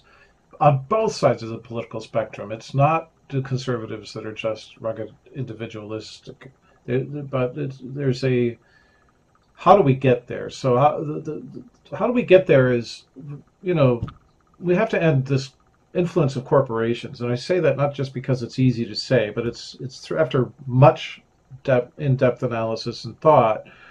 The corporation owes its allegiance to itself it's an amoral, not an immoral entity. The bottom line will persist. If you follow the bottom line, you will persist. And corporations can exist theoretically into perpetuity, whereas individuals die, right? Corporations outlast individuals. And so this corporation, the for-profit corporatization of things like our food culture, mm. our agriculture, that that, that boils down to whether or not we have the Constitution as individuals to make choices on at the level of consumption, or do we go for the convenience? Do we take our own personal responsibility f- for ourselves in terms of where our food comes from, in terms of what we put on our plate in front of our children, what we feed our children? And the profit motive that exists in corporations, of course, causes them to do two important things. One is to increase the amount that they can put out at the cheapest cost to themselves, and that lessens the quality of what Absolutely. we're eating, drinking, right, consuming for entertainment, and so on. And and the second is um, um, to maximize well uh, to, to, maximize the profit, but but also to um, to persist over time. In other words, they have to make it from quarter to quarter. They're skipping the mentality of, of, of quarterly reports, skipping from quarter to quarter in medicine, mixing profit motive with medicine has, is an abject failure. It is not sustainable. Medicine in an economic growth model means, as it is in the United States, they literally have to increase profit every year. How do you do that with a finite population? You do it by increasing the number of people that get sick. How do you do that? You do that by turning a blind eye to things that make people get sick, right? And so it does. I agree with you 100% that it boils down to the individual. Therefore, people need to show up at um, their school board meetings and say, "Why are my children not being taught civics?" The, every citizen in every country has a responsibility to participate in their own governance. It's a responsibility to themselves. It's a responsibility to the legacy of humanity. I was speaking with Bobby Kennedy Jr. on this show a couple of weeks ago, and I asked him, I said, what's the probability in a world that has nuclear reactors that we're going to have a nuclear reactor disaster? He said 1.0, it's happened. I said, exactly right. And what's the probability on a planet that has BSL 4 laboratories, BSL 3 and 4 laboratories, that we're going to have an escaped pathogen that makes hundreds of millions of people sick? It's 1.0. It's going to happen. So, to, to protect ourselves, I think we should build we should build infrastructure that's reserve infrastructure. It's obvious to say that in retrospect of what happened with COVID 19, but we knew it from Ebola as well, over and over and over again. How many times were we short of PPEs in countries that had these outbreaks? So we're slow to learn, and we need to think like engineers and other people said this as well, but I mean in terms of building a bridge. When you build a bridge, you build it a hundred times more strong than anything that would ever go over. You just do it. You, it's it's it, you compensate for your uncertainty and safety. So we do need to build a reserve capacity for emergencies in the United States and around the world where where we can handle things like this without issues, no problem. But that does not necessarily mean it's the medical community that does that. And what I mean is, okay, how if we have to go ever have to go into lockdown for a prolonged period of time again how do we do that where no one loses a job? How do we do that without shutting down small businesses? How do we do that without people having to empty their coffers? Line up the questions and then the answers are self-evident. It's it's going to boil down to each individual having accountability to themselves self-responsibility increasing how how i'm not as reliant on the government as or I'm not as reliant on, and I have reserve capacity in my own home for things. Um, it starts reforming education. I've thought about this time and time again. Uh, many issues when we come over the crisis, we have to reform education, uh, at least in the United States, because we're really not teaching our children how to. How, it's more than just problem solve. We're not teaching them how to anticipate. We're not teaching them how to imagine. We're not teaching them creativity lat, you know, the lateral thinking um, is not there. In the United States, we teach to the test over and over and over again, year after year after year. And so, how what we don't do is we don't go to recent graduates from high school one, two, three, and four years later and say, "Would you mind participating in the survey and tell us how your public education went? How did it serve you? How did it disserve you?" There's no quality control feedback whatsoever in terms of continuous improvement for education. It is what somebody up here thought would be the better policy. And then it trickles yeah. down, and, and it's never going to work. Um, yeah, um, I, I, actually think you, you, the U.S. education system, you know, I think the the U.S. education system is one of its strengths, you know, and I think it's a, you know, it's it's it is one of America's strengths because, as I said, I mean, I went there, I went to California now, albeit it was back in the back in the late '80s, you know, and there was a lot more investment in education back then because I've since been back to California um, on many on, on a, quite a few occasions and I've seen no investment, no palpable sense of any real investment. Like if you take California, which be most familiar with, but you know, I mean, when you look at kind of infrastructure in terms of roads, the roads are full of potholes. There's no new train lines. There's no new motorways. There's no new. There's no new places to park. There's no. We all thought of, we were going to have no flying social... cars by now. We were going to have flying cars. Oh yeah, yeah, yeah. Well, look, you can have your flying cars, but you know, uh, unless you got somewhere to land them and somewhere to park them, you know. But but there's very very little, at least from what I've seen, very very little social investment in keeping not America great again, but keeping the American education system great again. Because I think you're absolutely right. I mean, if I didn't the United States and I didn't get my start in education in the United States, I mean, I'd probably still, maybe I'd be just as happy, but I'd probably still be working on a building site. I certainly wouldn't have read, you know, literature and I wouldn't have been exposed to, to, to Joyce and Beckett and Nietzsche and, and philosophy. I, you know, the most beautiful book that I've read in my life have absolutely nothing to do with medicine and I never got them in college, but I got a, a joy of learning and a joy of knowledge, and I got a sense of achievement because the beauty about the American education system, and I don't think you know Americans really appreciate this, and, and I think Americans should never lose sight of this. The beauty of the American education system is this notion of the individual.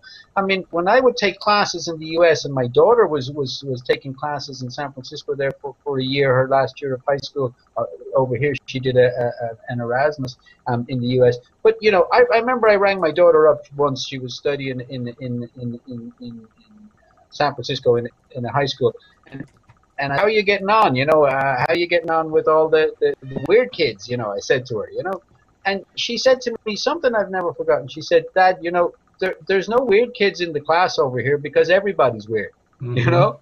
And, you know, what she was essentially saying, she was bringing back my own love for the American education system, and that you can be, you can go to college and you can pick a class in underwater basket weaving, or pick a class in in marine biology or astronomy. You know, you can go to a junior college if you don't do well in high school, and you can kind of pick classes in what you're interested in, and the opportunity for a cultivation of knowledge. It's probably nowhere more open to its population than, than arguably than, than in the U.S. So I'm a big, big fan of the U.S. education system, and you're right, it has to be invested in, and it has to be preserved. But but here's the question, you know, if you're going to educate people in the U.S. and you're going to provide people with an education within the context of a system that has various values for success and various definitions for success, then you know, in the U.S. itself, you know, there's a wonderful documentary that goes into this point by a philosopher, a British philosopher called Alain de Botton, and it's on YouTube, and it's called Status Anxiety. But what de Botton is talking about is, is that he makes this observation in, in the U.S. that nobody in the U.S. or very few people in the U.S. seem to be happy, kind of working as a waitress or working as there's a kind of a status thing where mm-hmm. if you're working as a waitress, you're a failure. If you're kind of working in a in a in a in a restaurant, you're a failure. If you're working as a mechanic, well, you know, you didn't really get ownership of the American dream, and you didn't. You kind of failed. You flunked. Now, this notion of success and failure in the U.S., I firmly believe that that's the most destructive, evil part of American life because you know working in a cafe and you know living on tips and you know hopefully you know if if if you can survive and you can manage and you can access some of the simple pleasures in life you know there's no there's no failure in that. There's no well, failure so, in a phd and not being an md but the society has this sort of a built-in notion like trump for example. Yeah. he's the archetype of success but that's all complete bullshit. And that's where the American dream falls down because it gives people opportunity, but then tells them, well, if you don't become an astronaut or become a successful lawyer, or if you don't, then you're somehow less than the guy who did. And that's where the American dream, I think, really eats itself and destroys itself because success and I'm sure you would agree, is not about how much you've got in your bank account. It's about how much you have in your soul, in your heart, in your mind, in music. It's all those kind of cliche yeah. things we talk about, but they're yeah. very, very true. You know, it's about music and food and enjoying things. But that notion, that hierarchical notion that you've got in the U.S., where you know the president has to be a billionaire and he's got to be able to have billions of dollars in order to finance his account. This this joy of the ordinary person, this celebration of being an ordinary person, of being a carpenter, being working with your hands, digging the little patch in the back of your garden. I mean, you know, why is it that people in the in the US with diabetes and shit, why isn't there a kind and, and over here too, why don't we have a national program that gets people out into their backyard turn over the soil, stick a few spuds in there, watch them come up, appreciate the whole. I mean, we've got all these publications and research. We've a whole institution called science, you know. But all behind that is the spud coming up through the ground, you know, photosynthesis, the sunlight hitting it. So yeah. we've got all this data all about the science, but why don't we have a love for it? Why don't we calm down, slow the fuck down, chill the fuck out about trying to be something and trying to become, you know, better than our neighbors and everything. Very Well and said. actually yeah. enjoy the simple, simple pleasures. I think that's where American education fails. It's not so much the, the, the education, it's the context of success that that education is conducted in that causes the, the, the failures, you know? I think that's exactly right. So a few years ago, I would say the same thing about the United States education system, but uh, it's fallen down in a couple of important ways. I've been for a long time calling for uh, teaching of civic responsibility, and nobody seems to want to teach civics to our students. They don't understand how government works. They really don't.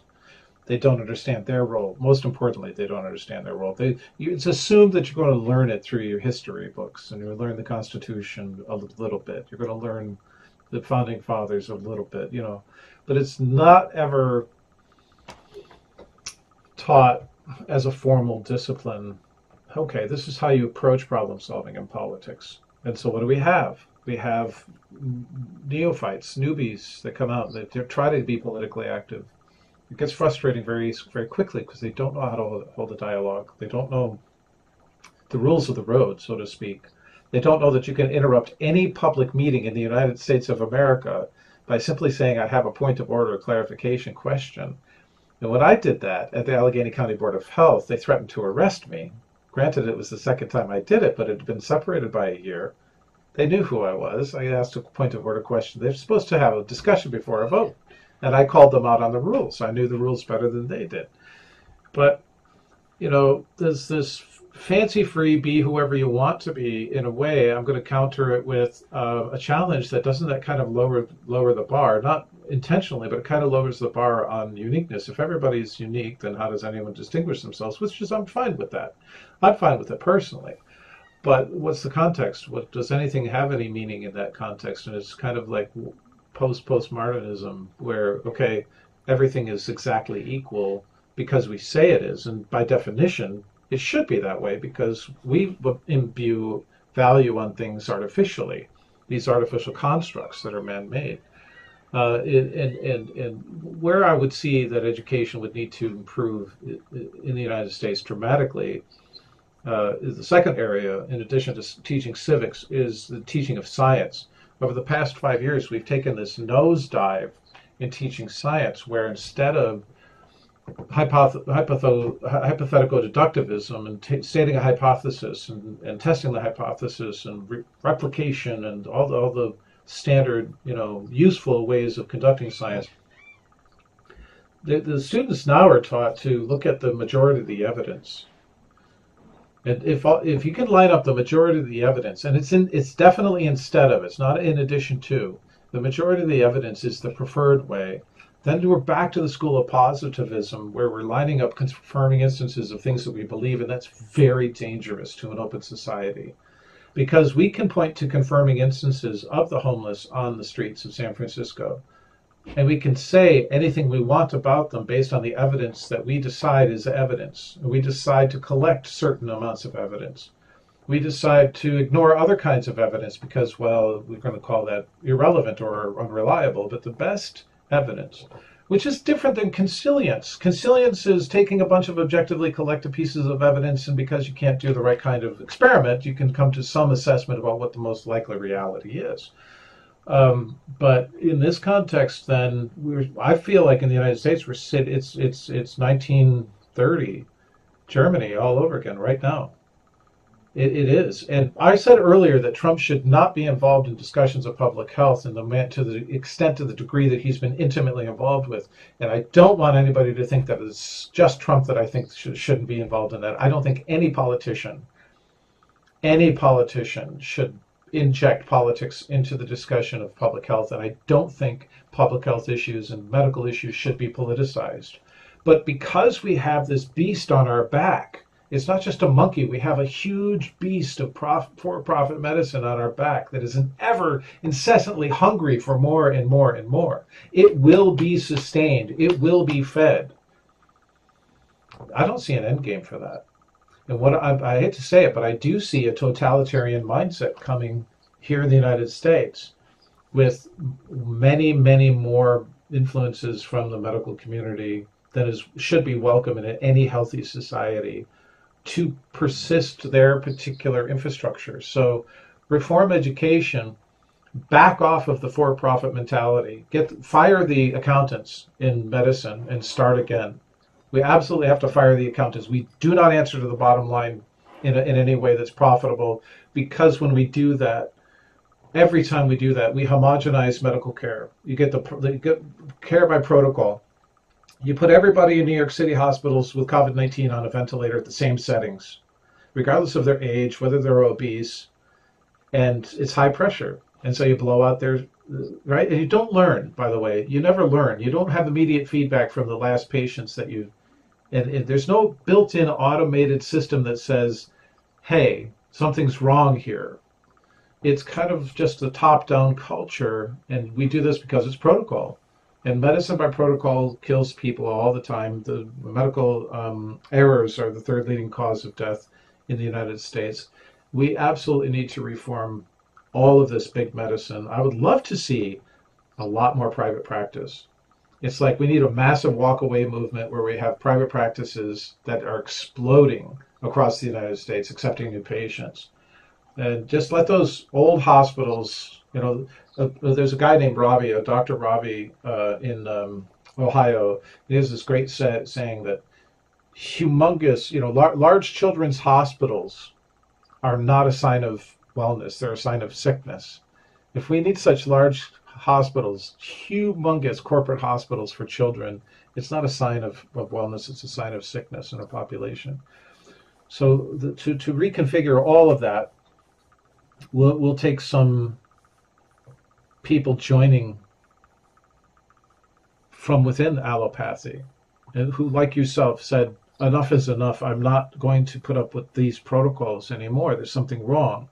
And so again you know i have to congratulate you on being ethical to stand up and say i'm not going to participate in this process. I was i walked away from a $300 an hour gig with the national vaccine injury compensation program because i couldn't put up with the corruption anymore. Uh, I, they, they bribed me to change my testimony, and I wouldn't do it. I, would rather have no money from them and perpetuate that, that process in some way by being the dope that shows up just to have my testimony turfed uh, by lesser evidence uh, by people who are in control. I, I couldn't do it, so I, I stopped doing very, that. Very difficult. It's, it's, it's very, very difficult. You know, I mean, I've been practicing medicine for, for, for 20 years, that, and you know, I, I'm at the point now where kind of I'm I'm I'm almost kind of hitting burnout now. I think, and I'm not burnt out from my patients. I enjoy my patients. I love it when occasionally, and I use that word with, with caution, because it is only on occasion that that I meet a real person who comes in and sits on the other side of the desk you know the vast majority it's like you said earlier you know the and, and you're absolutely true you know the, the, the state and, and and and and the media and and kind of the, the society that we live in is very much in the business of engineering disease and facilitating disease and the vast majority of, of doctors out there you know that, that that's what we're paid to do and, and as i said earlier on some of us are probably paid too much to do it but you know, I mean, if you think about like basic like human conditions, as we talked about earlier, we mentioned diabetes. You know, type two diabetes. You know, it's curable and it's treatable in the vast majority of cases. Now, I use the two words curable and treatable together, but I made a mistake when I did that because there's a big difference between cure and treat. But you know, medicine, modern medicine in the U.S. and the Western world is all about treating you know, I don't have a dialogue. Very rarely do I have a dialogue with my patients where I'm trying to, to cure their type 2 diabetes or their hypertension or their obesity. You know, doctors nowadays are paid very well to have very brief conversations with patients and write them, you know, prescriptions from big pharma. That's what we're paid to do. But, you know, it, in 20 years of practice, it struck me over and over again that whilst I'm writing the script for hypertensive or for the antibiotic that the patient has demanded, even though it's a viral illness, or I'm writing the script for the, the, the metformin or the insulin, you know, I feel a deep sense of sadness inside because I think to myself, there's another victim, a victim of me, the physician, a victim of society, and sadly a victim of themselves, you know, because, you know, the, the, as I said earlier on, the underlying pathology behind the vast majority of illness that I encounter every day and that I'm treating with big pharma to the benefit of big pharma, the vast underlying pathology is actually a private or deep or unconscious or even conscious unhappiness or dis-ease with their place in the world. you know mm-hmm. and medicine unfortunately in the context of a 10 15 minute consultation it, it's a rare thing that we have the opportunity to ask somebody you know and say well you know are you happy or unhappy you know that question that question should be tacked over the door of every doctor's surgery around the world Think about this before you go inside because the doctor's going to ask you, are you happy or unhappy? Or do you even know the difference between the two? Do you have a definition for what happiness is? Like this basic philosophical premise that the human being has in terms of their own engagement with their body, their engagement with external reality, there's deep, deep, deep philosophy in there. There's deep, deep thinking in there. But yeah. unfortunately, as you said, it's all about now, it's about the corporation, it's about the industry of medicine. I mean, as I said, you know, in terms of the, the writing of prescriptions and the writing of, of, of drugs, the vast majority of elderly people, I would presume, probably in the US, certainly here in Ireland, they're, they're, the vast majority of them are victims of polypharmacy. I mean, you go into grandma's house and you open up the medicine chest in grandma's house. I'm sure it's the same in the U.S. as the same as here. You open up the, the, the doors of the medicine cabinet, and I guarantee you, you're not going to be hit by a toothbrush. You're going to be hit by, or a pair of false teeth. You're going to be hit by a selection of pillboxes that have all got a load of shit in them that grandma probably doesn't need. You yes, know, so absolutely. at the end of the day, it's it's gone so far. It the whole system has evolved so far outside of the realm of kind of healthy diet, basic food, you know, we doctors have become so corrupted and we've become so immune to our own corruption. We've become totally oblivious to our own role that we've actually exchanged those two words that I used at the start of this kind of diatribe. Those yeah. two words, cure and treat. Doctors are not in the business of curing anymore. We're only in the business of treating. And hey, when we engage in this process of treating, we do exactly what you said at the outset of this dialogue. We facilitate the next drug. We facilitate the need for drug. We facilitate the pathology. And even deeper than that, we say to the patient, we say, yes, you are actually sick with a, an alien thing called hypertension or diabetes and we refuse, you and I can engage in this dialogue, patient and doctor, where we refuse to accept that there's actually deep fundamental unhappiness, there's problems here, there's dissatisfactions, there's, there's relationships that we refuse to go there, and we're just going to stay on the level of the nice, expensive pill, you know? It's reductionist and, very Cartesian, problems. right? It's very Cartesian that, that the patient has uh, something uh, wrong with their pinky, so they have pinkyitis uh, right? I got pinkyitis, and I'm a doctor because I put itis on the end of a body part. And by the way, Absolutely. by the way, you know, we tried to make it uh, unethical or tried to make it um, uh, impossible for corporations to incentivize certain prescriptions in the United States, and it's illegal for individual physicians. That, but it's okay. But it's a, but it's okay for corporations to incentivize practices. That's where the loophole is. So the accountants see the money coming in, and the accountants sanction doctors who act outside of protocol. That's a beast. That's what I mean by a beast. I have a lot of compassion. I'm not throwing medical doctors under the bridge, uh, uh, under the bus. I absolutely understand the pressure that they're under, and we need to get, we need to break the cycle of abusive funding of of medicine and you know Blue Cross Blue Shield here in the United States, the insurance scams and the and the and the um, the fraud, the insurance fraud that takes place of individual doctors cashing in. The, the doctor in in Michigan that was treating people for cancer that didn't have cancer, so he could sell more, you know, chemotherapy. Wow. Yeah, but what, what, were those people even doing going to that that that doctor? You know. Yeah. I mean, you, you were talking earlier about about you know education and about improving kind of the type of education. You know, I, I don't know if I if if if I'm entirely convinced that you know, if we give doctors more kind of clear facts and more evidence, you know, and if we kind of make science a little bit more kind of, you know, truthful and honest, and we kind of cut out the crap and the lies and kind of present people with real facts, I'm not entirely certain that that's really going to make I mean, it will make a difference, certainly a significant difference. But to my mind, I, I, I don't think it goes far enough. You know, I, I think we have to go even kind of further than that. You know, and and you know, like I remember when I was living in, in, in New Zealand, one of the things that struck me about the, the very beautiful things about New Zealand is, is New Zealand's got an indigenous population of Maoris, you know, and mm-hmm. and the, the, the, the, New Zealanders they had a kind of a war. The Brits when they went over to New Zealand and kind of took it over, they had a war with the Maori, the native population that was a fight, a bit like the Cowboys and Indians kind of story of the U.S. Um, yeah. So that the natives were fighting against the colonizers, but something very different happened in New Zealand as to what happened in the U.S. In that the, the natives they put up a pretty good fight. Now I'm not saying the Native Americans didn't put up a good fight, Wounded Knee and, and all of the rest but. They sure bloody hell gave it their best. But the, the point that I'm making is, is that the New Zealanders made a treaty with the natives called the Treaty of Waitangi. And the Treaty of Waitangi was very, very interesting in New Zealand because it gave the natives control of a certain percentage of the parliament and it gave the the, the, the, the Brits, they gave the, the New Zealand, the, the Maoris, they gave them control of swathes of land which they thought at the time were kind of useless. They, they gave the mountains down in the south and kind of what they thought were deserts up in the north. Now, the Treaty of Waitangi has stayed in place kind of throughout the history, and the New Zealanders celebrate that treaty, and they're very.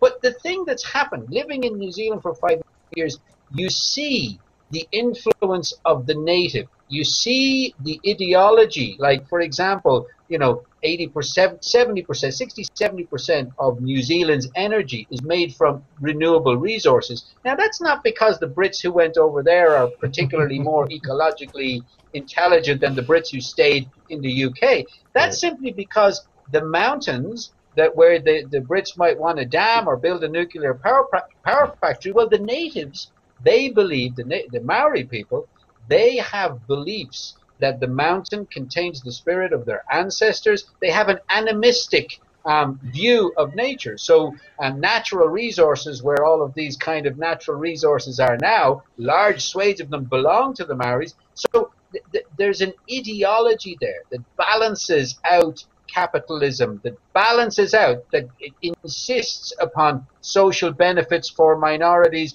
because the minority is kind of has got a significant representation representation in the government. I always wonder to myself if the Native Americans, if Grant or, or Ulysses Grant had to turn around and say, well, right, look, we've got to kind of make peace with the Indians, and instead of trying to wipe them out, we're going to give them, you know, 30% or 40% of seats in the House of Representatives. I always kind of wonder to myself, how different would America be. If it had beautiful. that voice of the native that voice if it what you're talking about what you're talking about is gen- more generally known as the wisdom of the minority right? Yeah. And and and and this is why politics fails modern politics fails in, in, in the united states at least over polarization of um, left versus right because the left is not really a minority. The right is not really a minority. It's a minority viewpoint because they don't hold the number of seats in the House, but it's not really a minority in the United States. It's not even an entity. It's an artificial platform that's redesigned every eight, four to eight years. It's a construct, and people swear and live and die by the fact that I'm a lifelong liberal or conservative, you know, uh, uh, Democrat or a Republican. And, and this polarization is another construct. It's a it's a me- mechanism. It's what the under the Matrix they would call the movie The Matrix another layer of control. It, it, in the United States, it's very clear that this artificial way of doing politics of a two-party system has emerged in, in, now with with so many influences on the the Democrats. They have a now they have a taste for corporate money where corporatism has come in to the point where I now just plain out call it fascism. There's way too much fascism in the United States, too much for-profit interest, overt profit interest, overt discussion of um, uh, when debating laws and policies, whether or not they have figured out who, you know, how and how um, the most money is going to be made on the floor of the debate.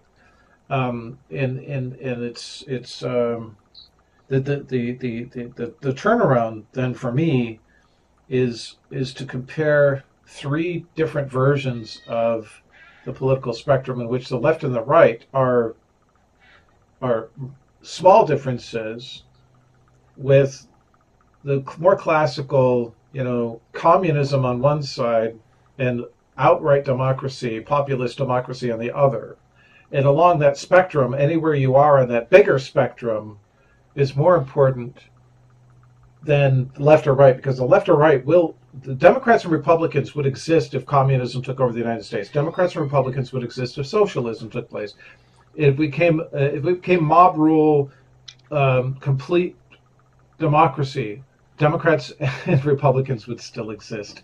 And so that's not the big division. The big division is on this individualism versus I need the state to do things for me. That's it falls into left versus right here, but it's really much more about state-owned fascism versus corporate-owned fascism. You know, who's controlling who?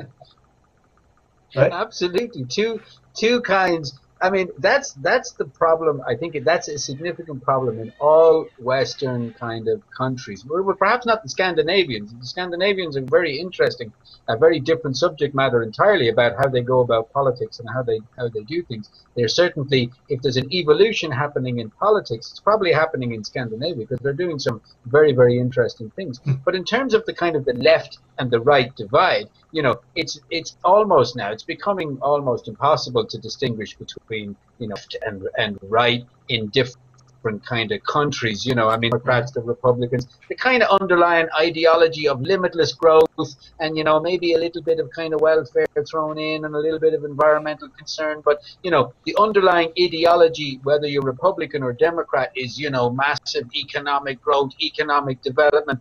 And of course, the dogs on the street know that that's what's actually melting the icebergs or affecting the environment, that that's what's actually causing the kind of social discohesion and dissatisfaction.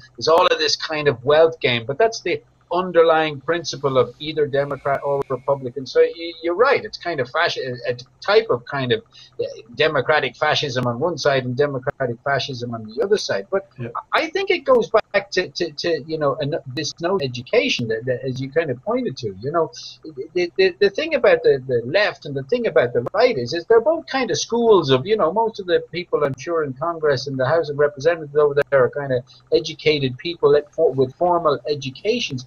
But I think what's lacking in, in U.S. politics is kind of the same thing that's lacking in a lot of Western politics, and that's you know a little bit of soul, you know, and, and th- that's why I mentioned that that that example of the Maoris and that example of when a when you've got a left and a right and you've got that are becoming the same. Well, if you've got this kind of you know historical or cultural or, or you know group or, or, or part of the nation spirit like the Native Americans once were in the U.S. You know, but if if America has lost its Native American population, if it's farmed them out and put them on reservations and given them alcohol or pox blankets or whatever it was to wipe them out, if they're pretty much gone off the picture, there's still a little bit of soul left in America to educate you know, this fascist group. And that soul, I mean, I love rap music. I think rap music is absolutely, I'm, I'm totally, Cardi B, for example, is a rap singer. I really like her. But mm. when you listen to Cardi B songs, the thing I love about Cardi B is this woman is sexually liberated. Now, she doesn't, she talks about having an orgasm, screwing a guy, you know, she's sexually liberated in the sense that, you know, if she's going to have sex with a guy, the guy better be able to satisfy her. She's going to enjoy it. It's all about having fun. And there's an equality there. Now, people might think that Cardi B is kind of crass and gross and she's talking about she's going to get a diet, she's going to do this and suck a dick or this sort of thing, you know, and might, oh, be very offended by all of that. But actually, if you listen to what's going on and kind of rap music and the, and, and the, which is a big part of the soul of America, uh, uh, of Black America, if you listen to it, that there's a real liberation for women. There's a real power there of standing up. That's kind of that's an evolution of women power. Now you go back and you look at kind of in music and you look at the Spice Girls, and it was all about kind of showing your tits and shaking your ass and wearing a mini skirt, and it was all about being sexy to a guy and appearing kind of gorgeous to him. but and essentially being, you know, almost, you know, uh, uh, uh, chauvinistic in a sense. Women were kind of being anti-feminist in, in this whole, you know, hype up of their sexuality because their sexuality is just appealing to the guys. So it's on a on a different trajectory. But you know, there, there's a soul in America, and it may not be the Native American population may be almost extinguished, perhaps, or maybe there's a little bit of life left in it. But Black America, I, am kind of shocked and always remain will remain shocked for the re- remainder of my days.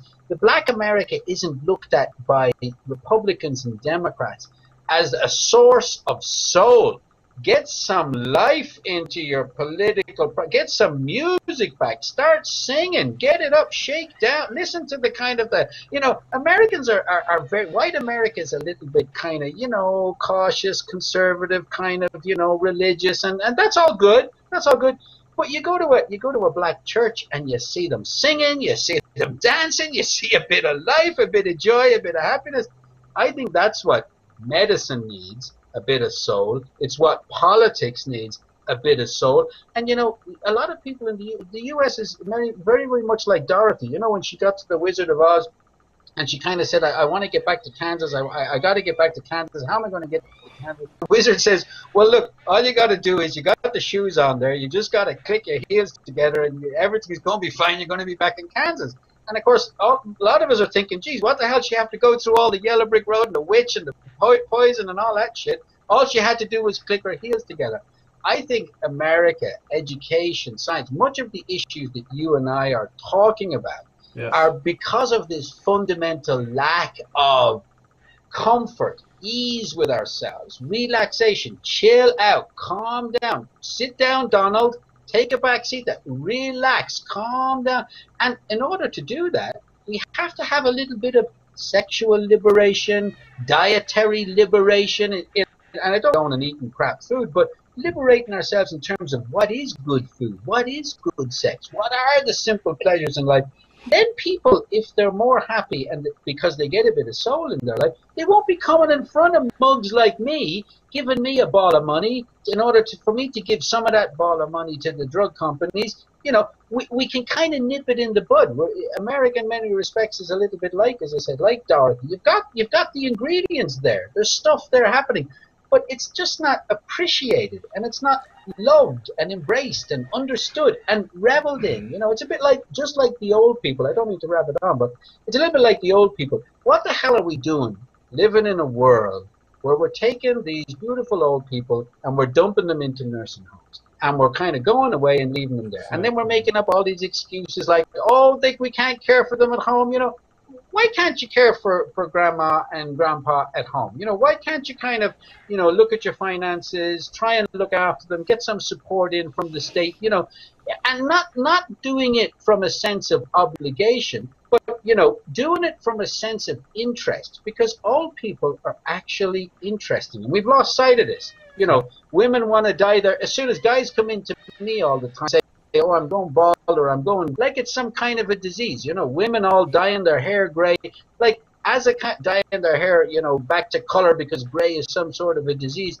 As a population, we have this view, as a Western developed population, we have this view of age as being some sort of a pathology. But I mean, is it really? Where's that view coming from? Wanting to dye your hair a different color? Like, what the hell's wrong with being gray? What, what we refuse matter? to do is at least at least India overtly has right said if you are a woman who's unmarried over the age of 45 you are a lower social class because you're economic liability so it's right in their face. They don't they don't mince words. You you there's a class of there's a yeah. class of personhood for them. At least they're overt about it. We don't have the wherewithal the temerity of and, and the ethics to say that we are mistreating our elderly with ageism in medicine. We're going to give this procedure to you if you're 20 year old, but we're not going to give the same procedure. And we're going to make up some yeah. excuse, like they might get pneumonia and die, right? They're going to make up some excuse. Um, uh, in, in reality, now that we have this kind of semi-socialized medicine that, uh, you know, uh, everyone's supposed to have um, health insurance, whether they want it or not. That's a forced consumption of a commodity, in my view. But um, we have no more excuses. And you know, in New York State, Andrew, Governor Andrew Cuomo opened up all the nursing homes and said, "You will take in new patients, whether you want to or not. You will take in new clients, whether you want to or not." Yeah. And and the yeah. nursing homes were like, "Don't bring them here. We have coronavirus, and these people are going to get coronavirus. They're going to die." So on the other end of the issue, we've had thousands of people die because they went into nursing homes and they never should have gone there. Um, I love what you're talking about. This this what I call the wisdom of minority. Um, I think the the, the the, the very first reaction in this Black Lives Matters thing is is this is this another opportunity that happens every four or eight years where all of a sudden the Democrats discover the, the, the Black Caucus again? And I don't speak um, for anybody but myself. I don't speak for the Black Caucus. I don't speak for any African Americans. But is this another of the patronizing relationships that have persisted with this you know, creative, colorful population, uh, you know, vibrant culture that we have here in the United States, whereby our politicians all of a sudden become aware again. Oh yes, we have to address the Black Caucus. And unfortunately, in my analysis, I think that most of what's pushing the Black Lives Matters into the fore during a pandemic where you're going to have protests is this, I, you know, kind of like game of chicken political chicken with Donald Trump and the other side to say, okay, we dare you to try to stop a, a, protest. We dare you to shut it down in the name of the pandemic because that's going to secure the votes for our side. Um, it doesn't mean that there's not racism in America. Of course there is. It doesn't mean that people shouldn't be able to protest. Of course they should. But it does mean that the, the reason why our media will cover it the way that they do, the media is allowed by their corporate masters to cover it the way that they do, is because they think that it's going to forward a particular agenda and you have to be able to see through all of that. How can a, how can a typical American person who's simply dealing with the issue on the very first surfaced issue, the very first surface of the issue, they never get to the to, to, the, to, to the next layer of control. How how do we emerge as a new civilization under this so-called new normal when the we're not the rule makers? The people are not the rule makers here. We don't have the power to make these new rules and and and that's why I, I do think that we need we, we, we need public health policies to be apolitical. We need medicine to be a, a not for profit, and we need we need massive reform in politics. So, you know, there's a, an old saying that the reason why we have such shitty presidents all the time is because the only people that would ever you know be worthy of the office would never go through the process of compromising themselves to get it, right? Yeah. And, and and so um, we can well, we can make the policies for ourselves. You know, I mean, we can. We do have a sense of, of autonomy. Like, I mean, I, I, I was very fond of, of, of, of Obama, and I really liked Obama. Um, and I, I like him more. You know, I mean, I'm not saying he was perfect. He, of course, he wasn't. You know, no man is. But you know, he had a beautiful he had a beautiful spirit about him. He had a beautiful kind of humanitarianism about him. He had a kindness, you know, about him and a warmth about him and a kind of roll up your sleeves and, and hug people. Now maybe half of it was all bullshit and for show. I don't know, you know. But you know, one of the criticisms I'd make of, of, of Obama, you know, uh, you know, or, or and I'm very fond of Michelle. I think she's a beautiful, absolutely beautiful and super intelligent woman, you know. But you know, I look at other other African American women who embrace, for example, the, the, the natural flow of, of, of, of African American hairstyles or that sort of thing. And and I'm very, very cautious when about when when we try to kind of, you know, turn ourselves into an image that's kind of more publicly presentable. You know, so this idea of, of whether government has autonomy over us, if if we're not exercising autonomy over the self, like if we take it, if, if we consider the very notion of what's beautiful and what's artistic and what's kind of pleasing to the human subject, you know, throughout time that constantly changes. You know, there was a time when being fat was beautiful, and there was a time when big boobs were in, and small boobs are in, and being mm-hmm. skinny. You know, so this notion of what's beautiful is constantly kind of changing in, it's a construct, in society. Right? Something, sure it's it's it's it's a construct, you know. But essentially, when we try to make a, carve ourselves into a public notion of beauty, like this notion of ageism in the nursing homes and you know the abuse of people in the nursing homes that happened. There's no two ways about it. It happened here and it probably happened worse in the us because you guys got covid long after. So you should have even known way before anybody what was coming.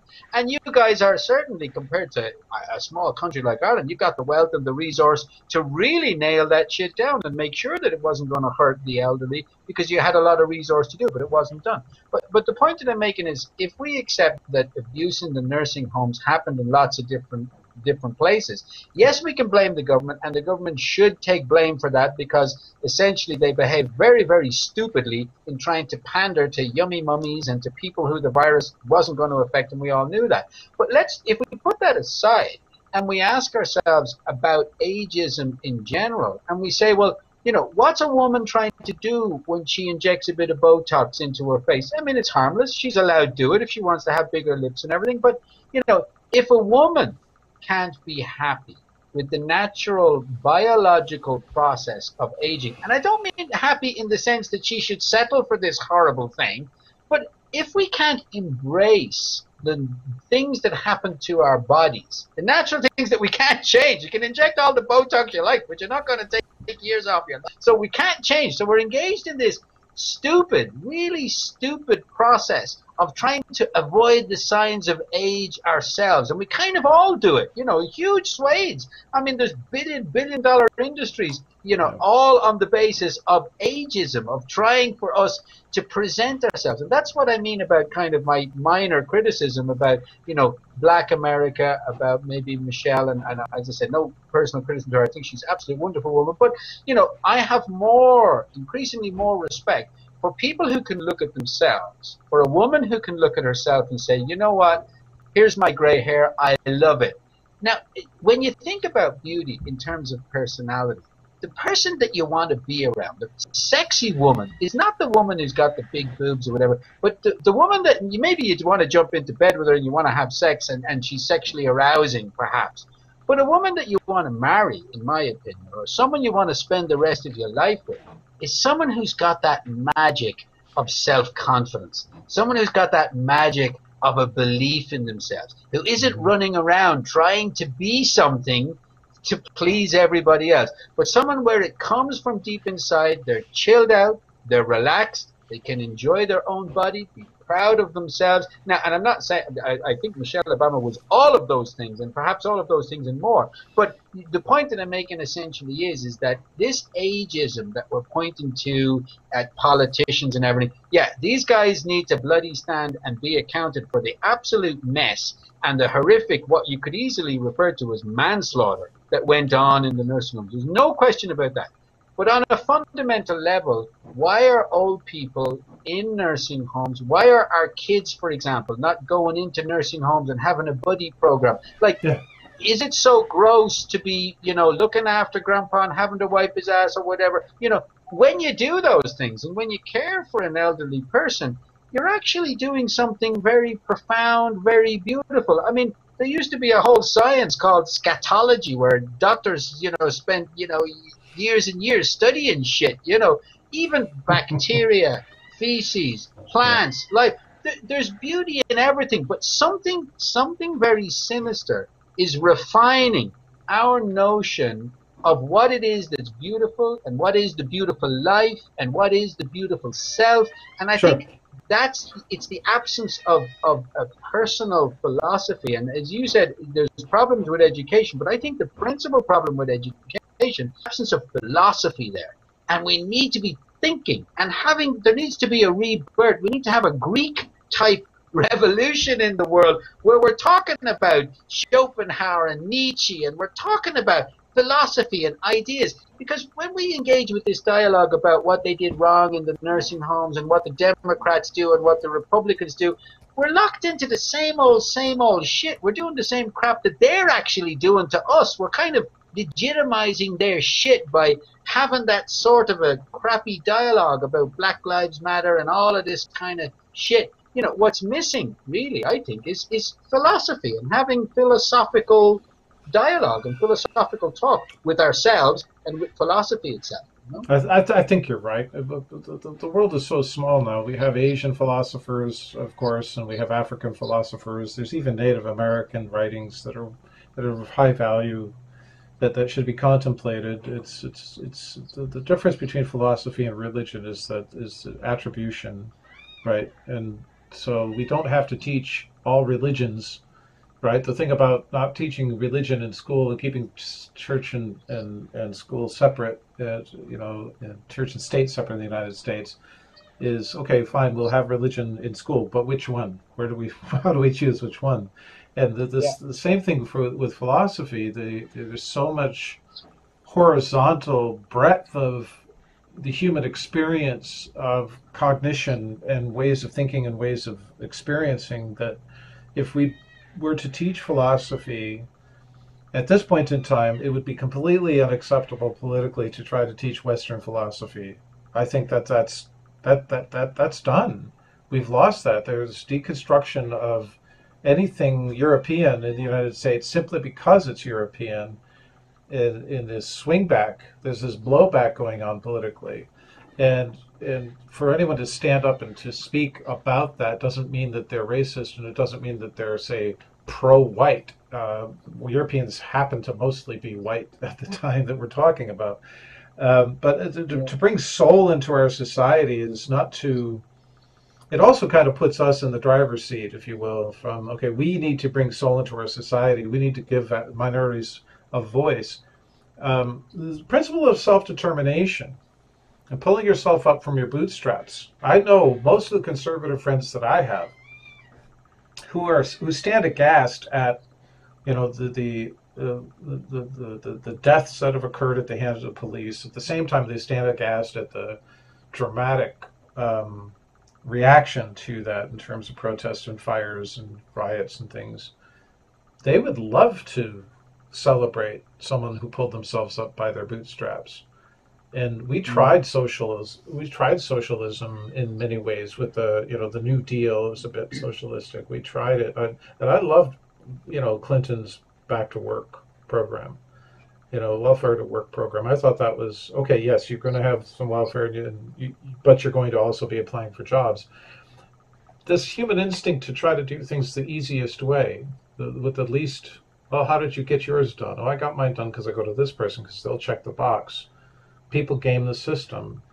People from all walks of life and all races game the system to their own personal convenience and need.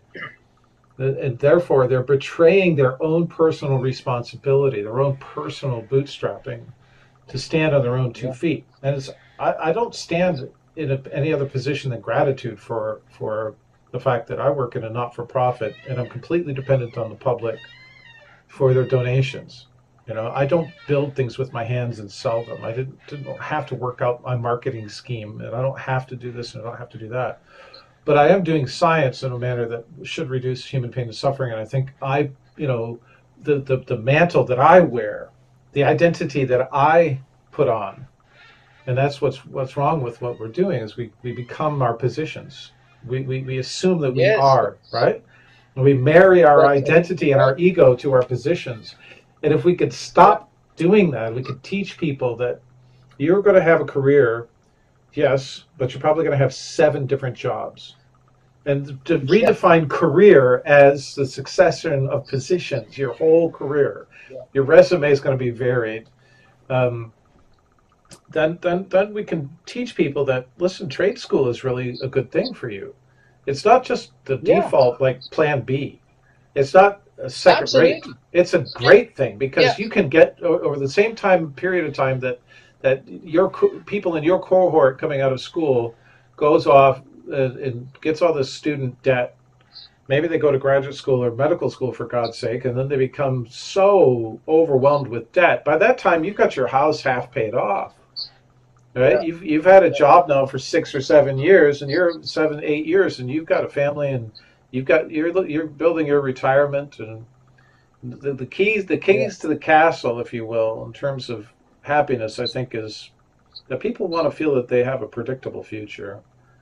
The the, the, yeah, the, the fear of the unknown. You're, you're and, totally and, right. Yep. And, and and so the to, to tell them your future is unpredictable and therefore I'm predicting with high reliability that your future is unpredictable. That's just the way that it is. Expect change. Change is the only constant. That's the kind of depth of uh, approach that that, that, that, that will, will help people know to not be disappointed when their job no longer exists and that kind of thing. Yeah, well, I, and I think the the point you made there about us becoming our identity, you know, I, think that's a crucial a crucial point. We can't. Yeah, we, we confuse our positions, our, our, our career positions and our yes. titles with our with ourselves we, as an exactly. as an individual. Yeah. For sure. One of the things I often say, I often say that to, to some of my patients, and it always raises eyebrows. You know, I think in America you refer we, we refer to masturbation as jerking off. You know, in Ireland we, we call I think we probably use the same term. We call it having a wank. You know, um, sometimes in my patients, uh, guys or whatever that I know particularly well, because you have to be careful because we get sued a lot over here too. But you know, often I'd say to to, to, to a patient of mine, I say, you need to go home and have a wank. You're that God's you're that out. frustrated you're and worked out, yeah. You know, yeah, you need to go home and have a wank. And I said, you know, I've had a wank. You know, and when I say that to people, sometimes they look at me like, you know, oh my God, you, how could you say something like that? You know, but you know, when I actually come out of the shell of being this doctor who's not supposed to say things like, like that, supposed to, you know, that's not part. You're not going to get many too too many doctors. You know, you're not, you're not going to meet them, and they're not going to ever say to you in a professional capacity, I have masturbated. You know, it's just it's not the thing that's done. You know, because of this this facade of what the physician and the doctor is, and it's very and unfortunately that facade. They should. What? Be. Yeah, but right, right, it should, should be. be. But whilst it can be, whilst it can be very, very useful, that facade to engender a degree of kind of trust in the sense that this guy is higher than me and more important than me, therefore I better take the drug that he's given me. So, and it kind of, you know, it it it engender degree of compliance, which can sometimes be good in medical practice, but not all the time. And in fact, you know, rarely. But anyway, when you come out, as you said, this notion of becoming our identity, that's what happens to doctors. And that's what happens, I think, to politics, you know, is that they do become the social interface and that the real human being, the guy who has a smoke, has a wank, cheats on his wife, you know, is fat, is overweight, underweight, the real human being disappears a little bit or gets buried. And yeah. then when the public guy, when the public interface or the shell interfaces with another human being, it's kind of like almost like a, a, a cancer or a knock-on effect or a radioisotope effect. It kind of sets off another atom that he has to be kind of superficial and behave in a certain way.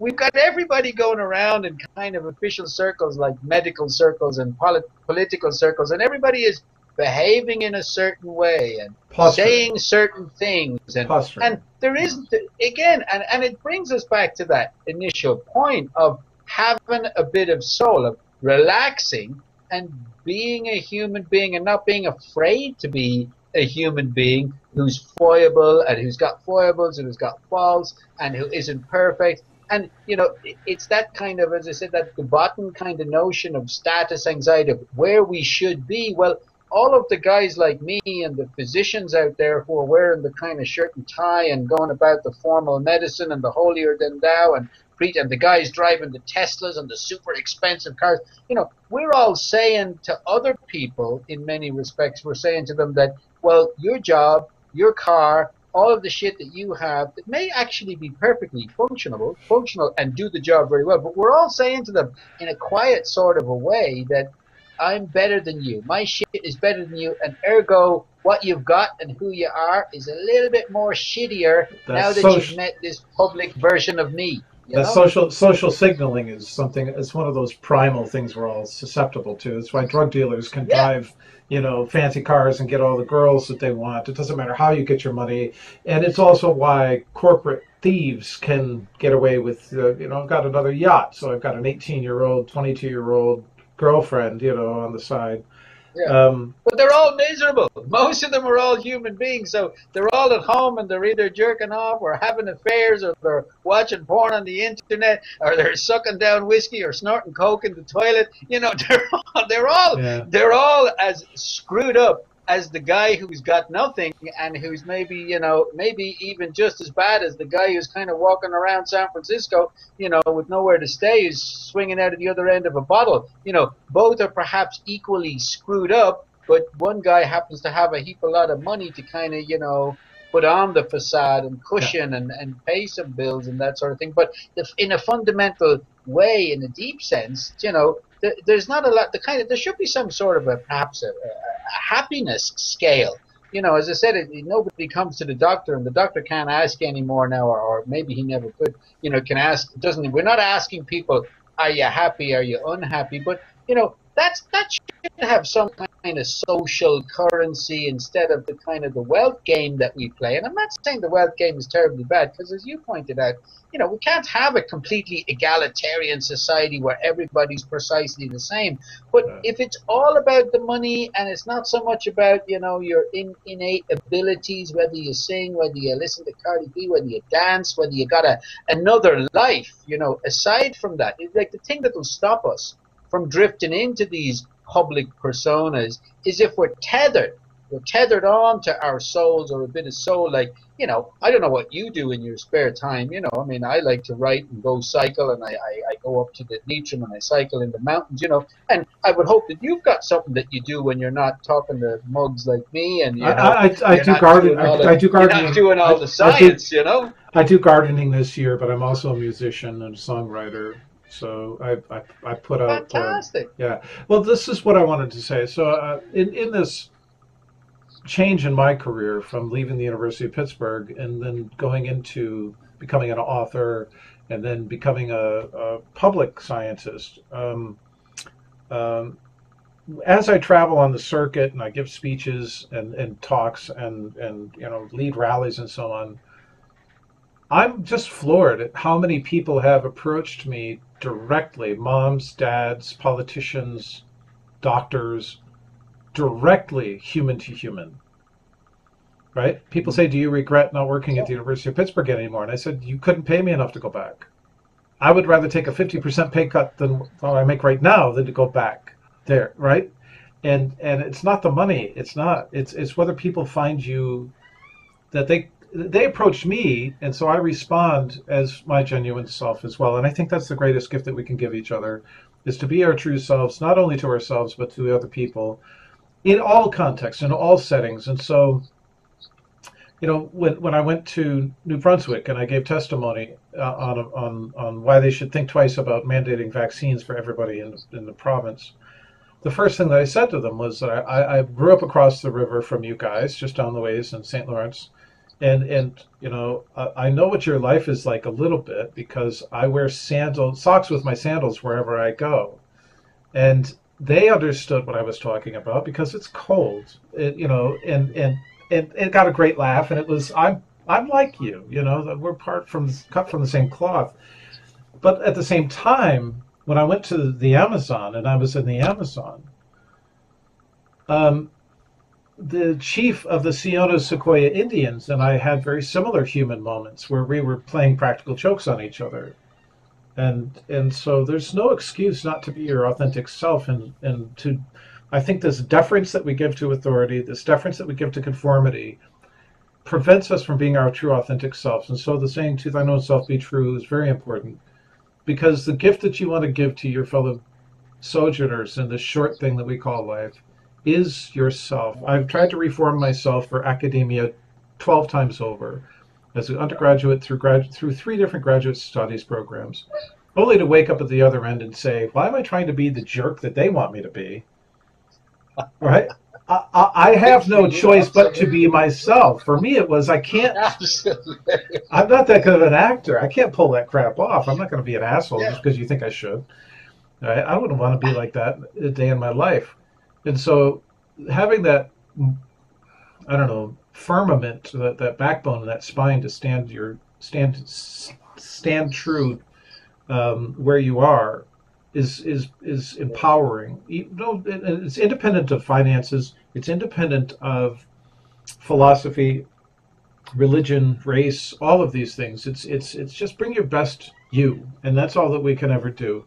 So, and Yeah. you certainly did. You certainly did with your resignation, Marcus. You know, it's a position of influence that you had. I hope that you get reappointed after they come to their senses. I hope they come crawling I back to you. I doubt it. I doubt it. They got a. They got a. They got a. Uh, there's a hunting posse after me. My, a lot of my colleagues. Uh, no, I. I, I think I think once they once they once they sober up, Mark, uh, once they sober up, Marcus, I think they'll come crawling back to you with an apology, and they should. They absolutely should, because they should say, no, we're going to refuse your resignation. Let's have a meeting about this. But you know the politics better than I do. They they need to come to their senses.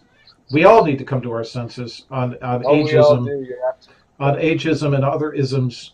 And uh, you know, I want to thank you for being my guest today. It's been a great couple of hours, and um, I'm going to share out your link. And like I said, I'd love to see some more writing. You're exquisitely clear communicator when you write, and we need more people like you. So thanks for being there. Well, thank you very much, Jack. I'm sure we'll we'll, we'll keep in touch. And uh, yeah, absolutely. And I'll have you back a on. couple of times. Yeah, we're going to go over a couple of things. Uh, uh, thanks so much. I'm going to sign off now. Thanks thanks so much.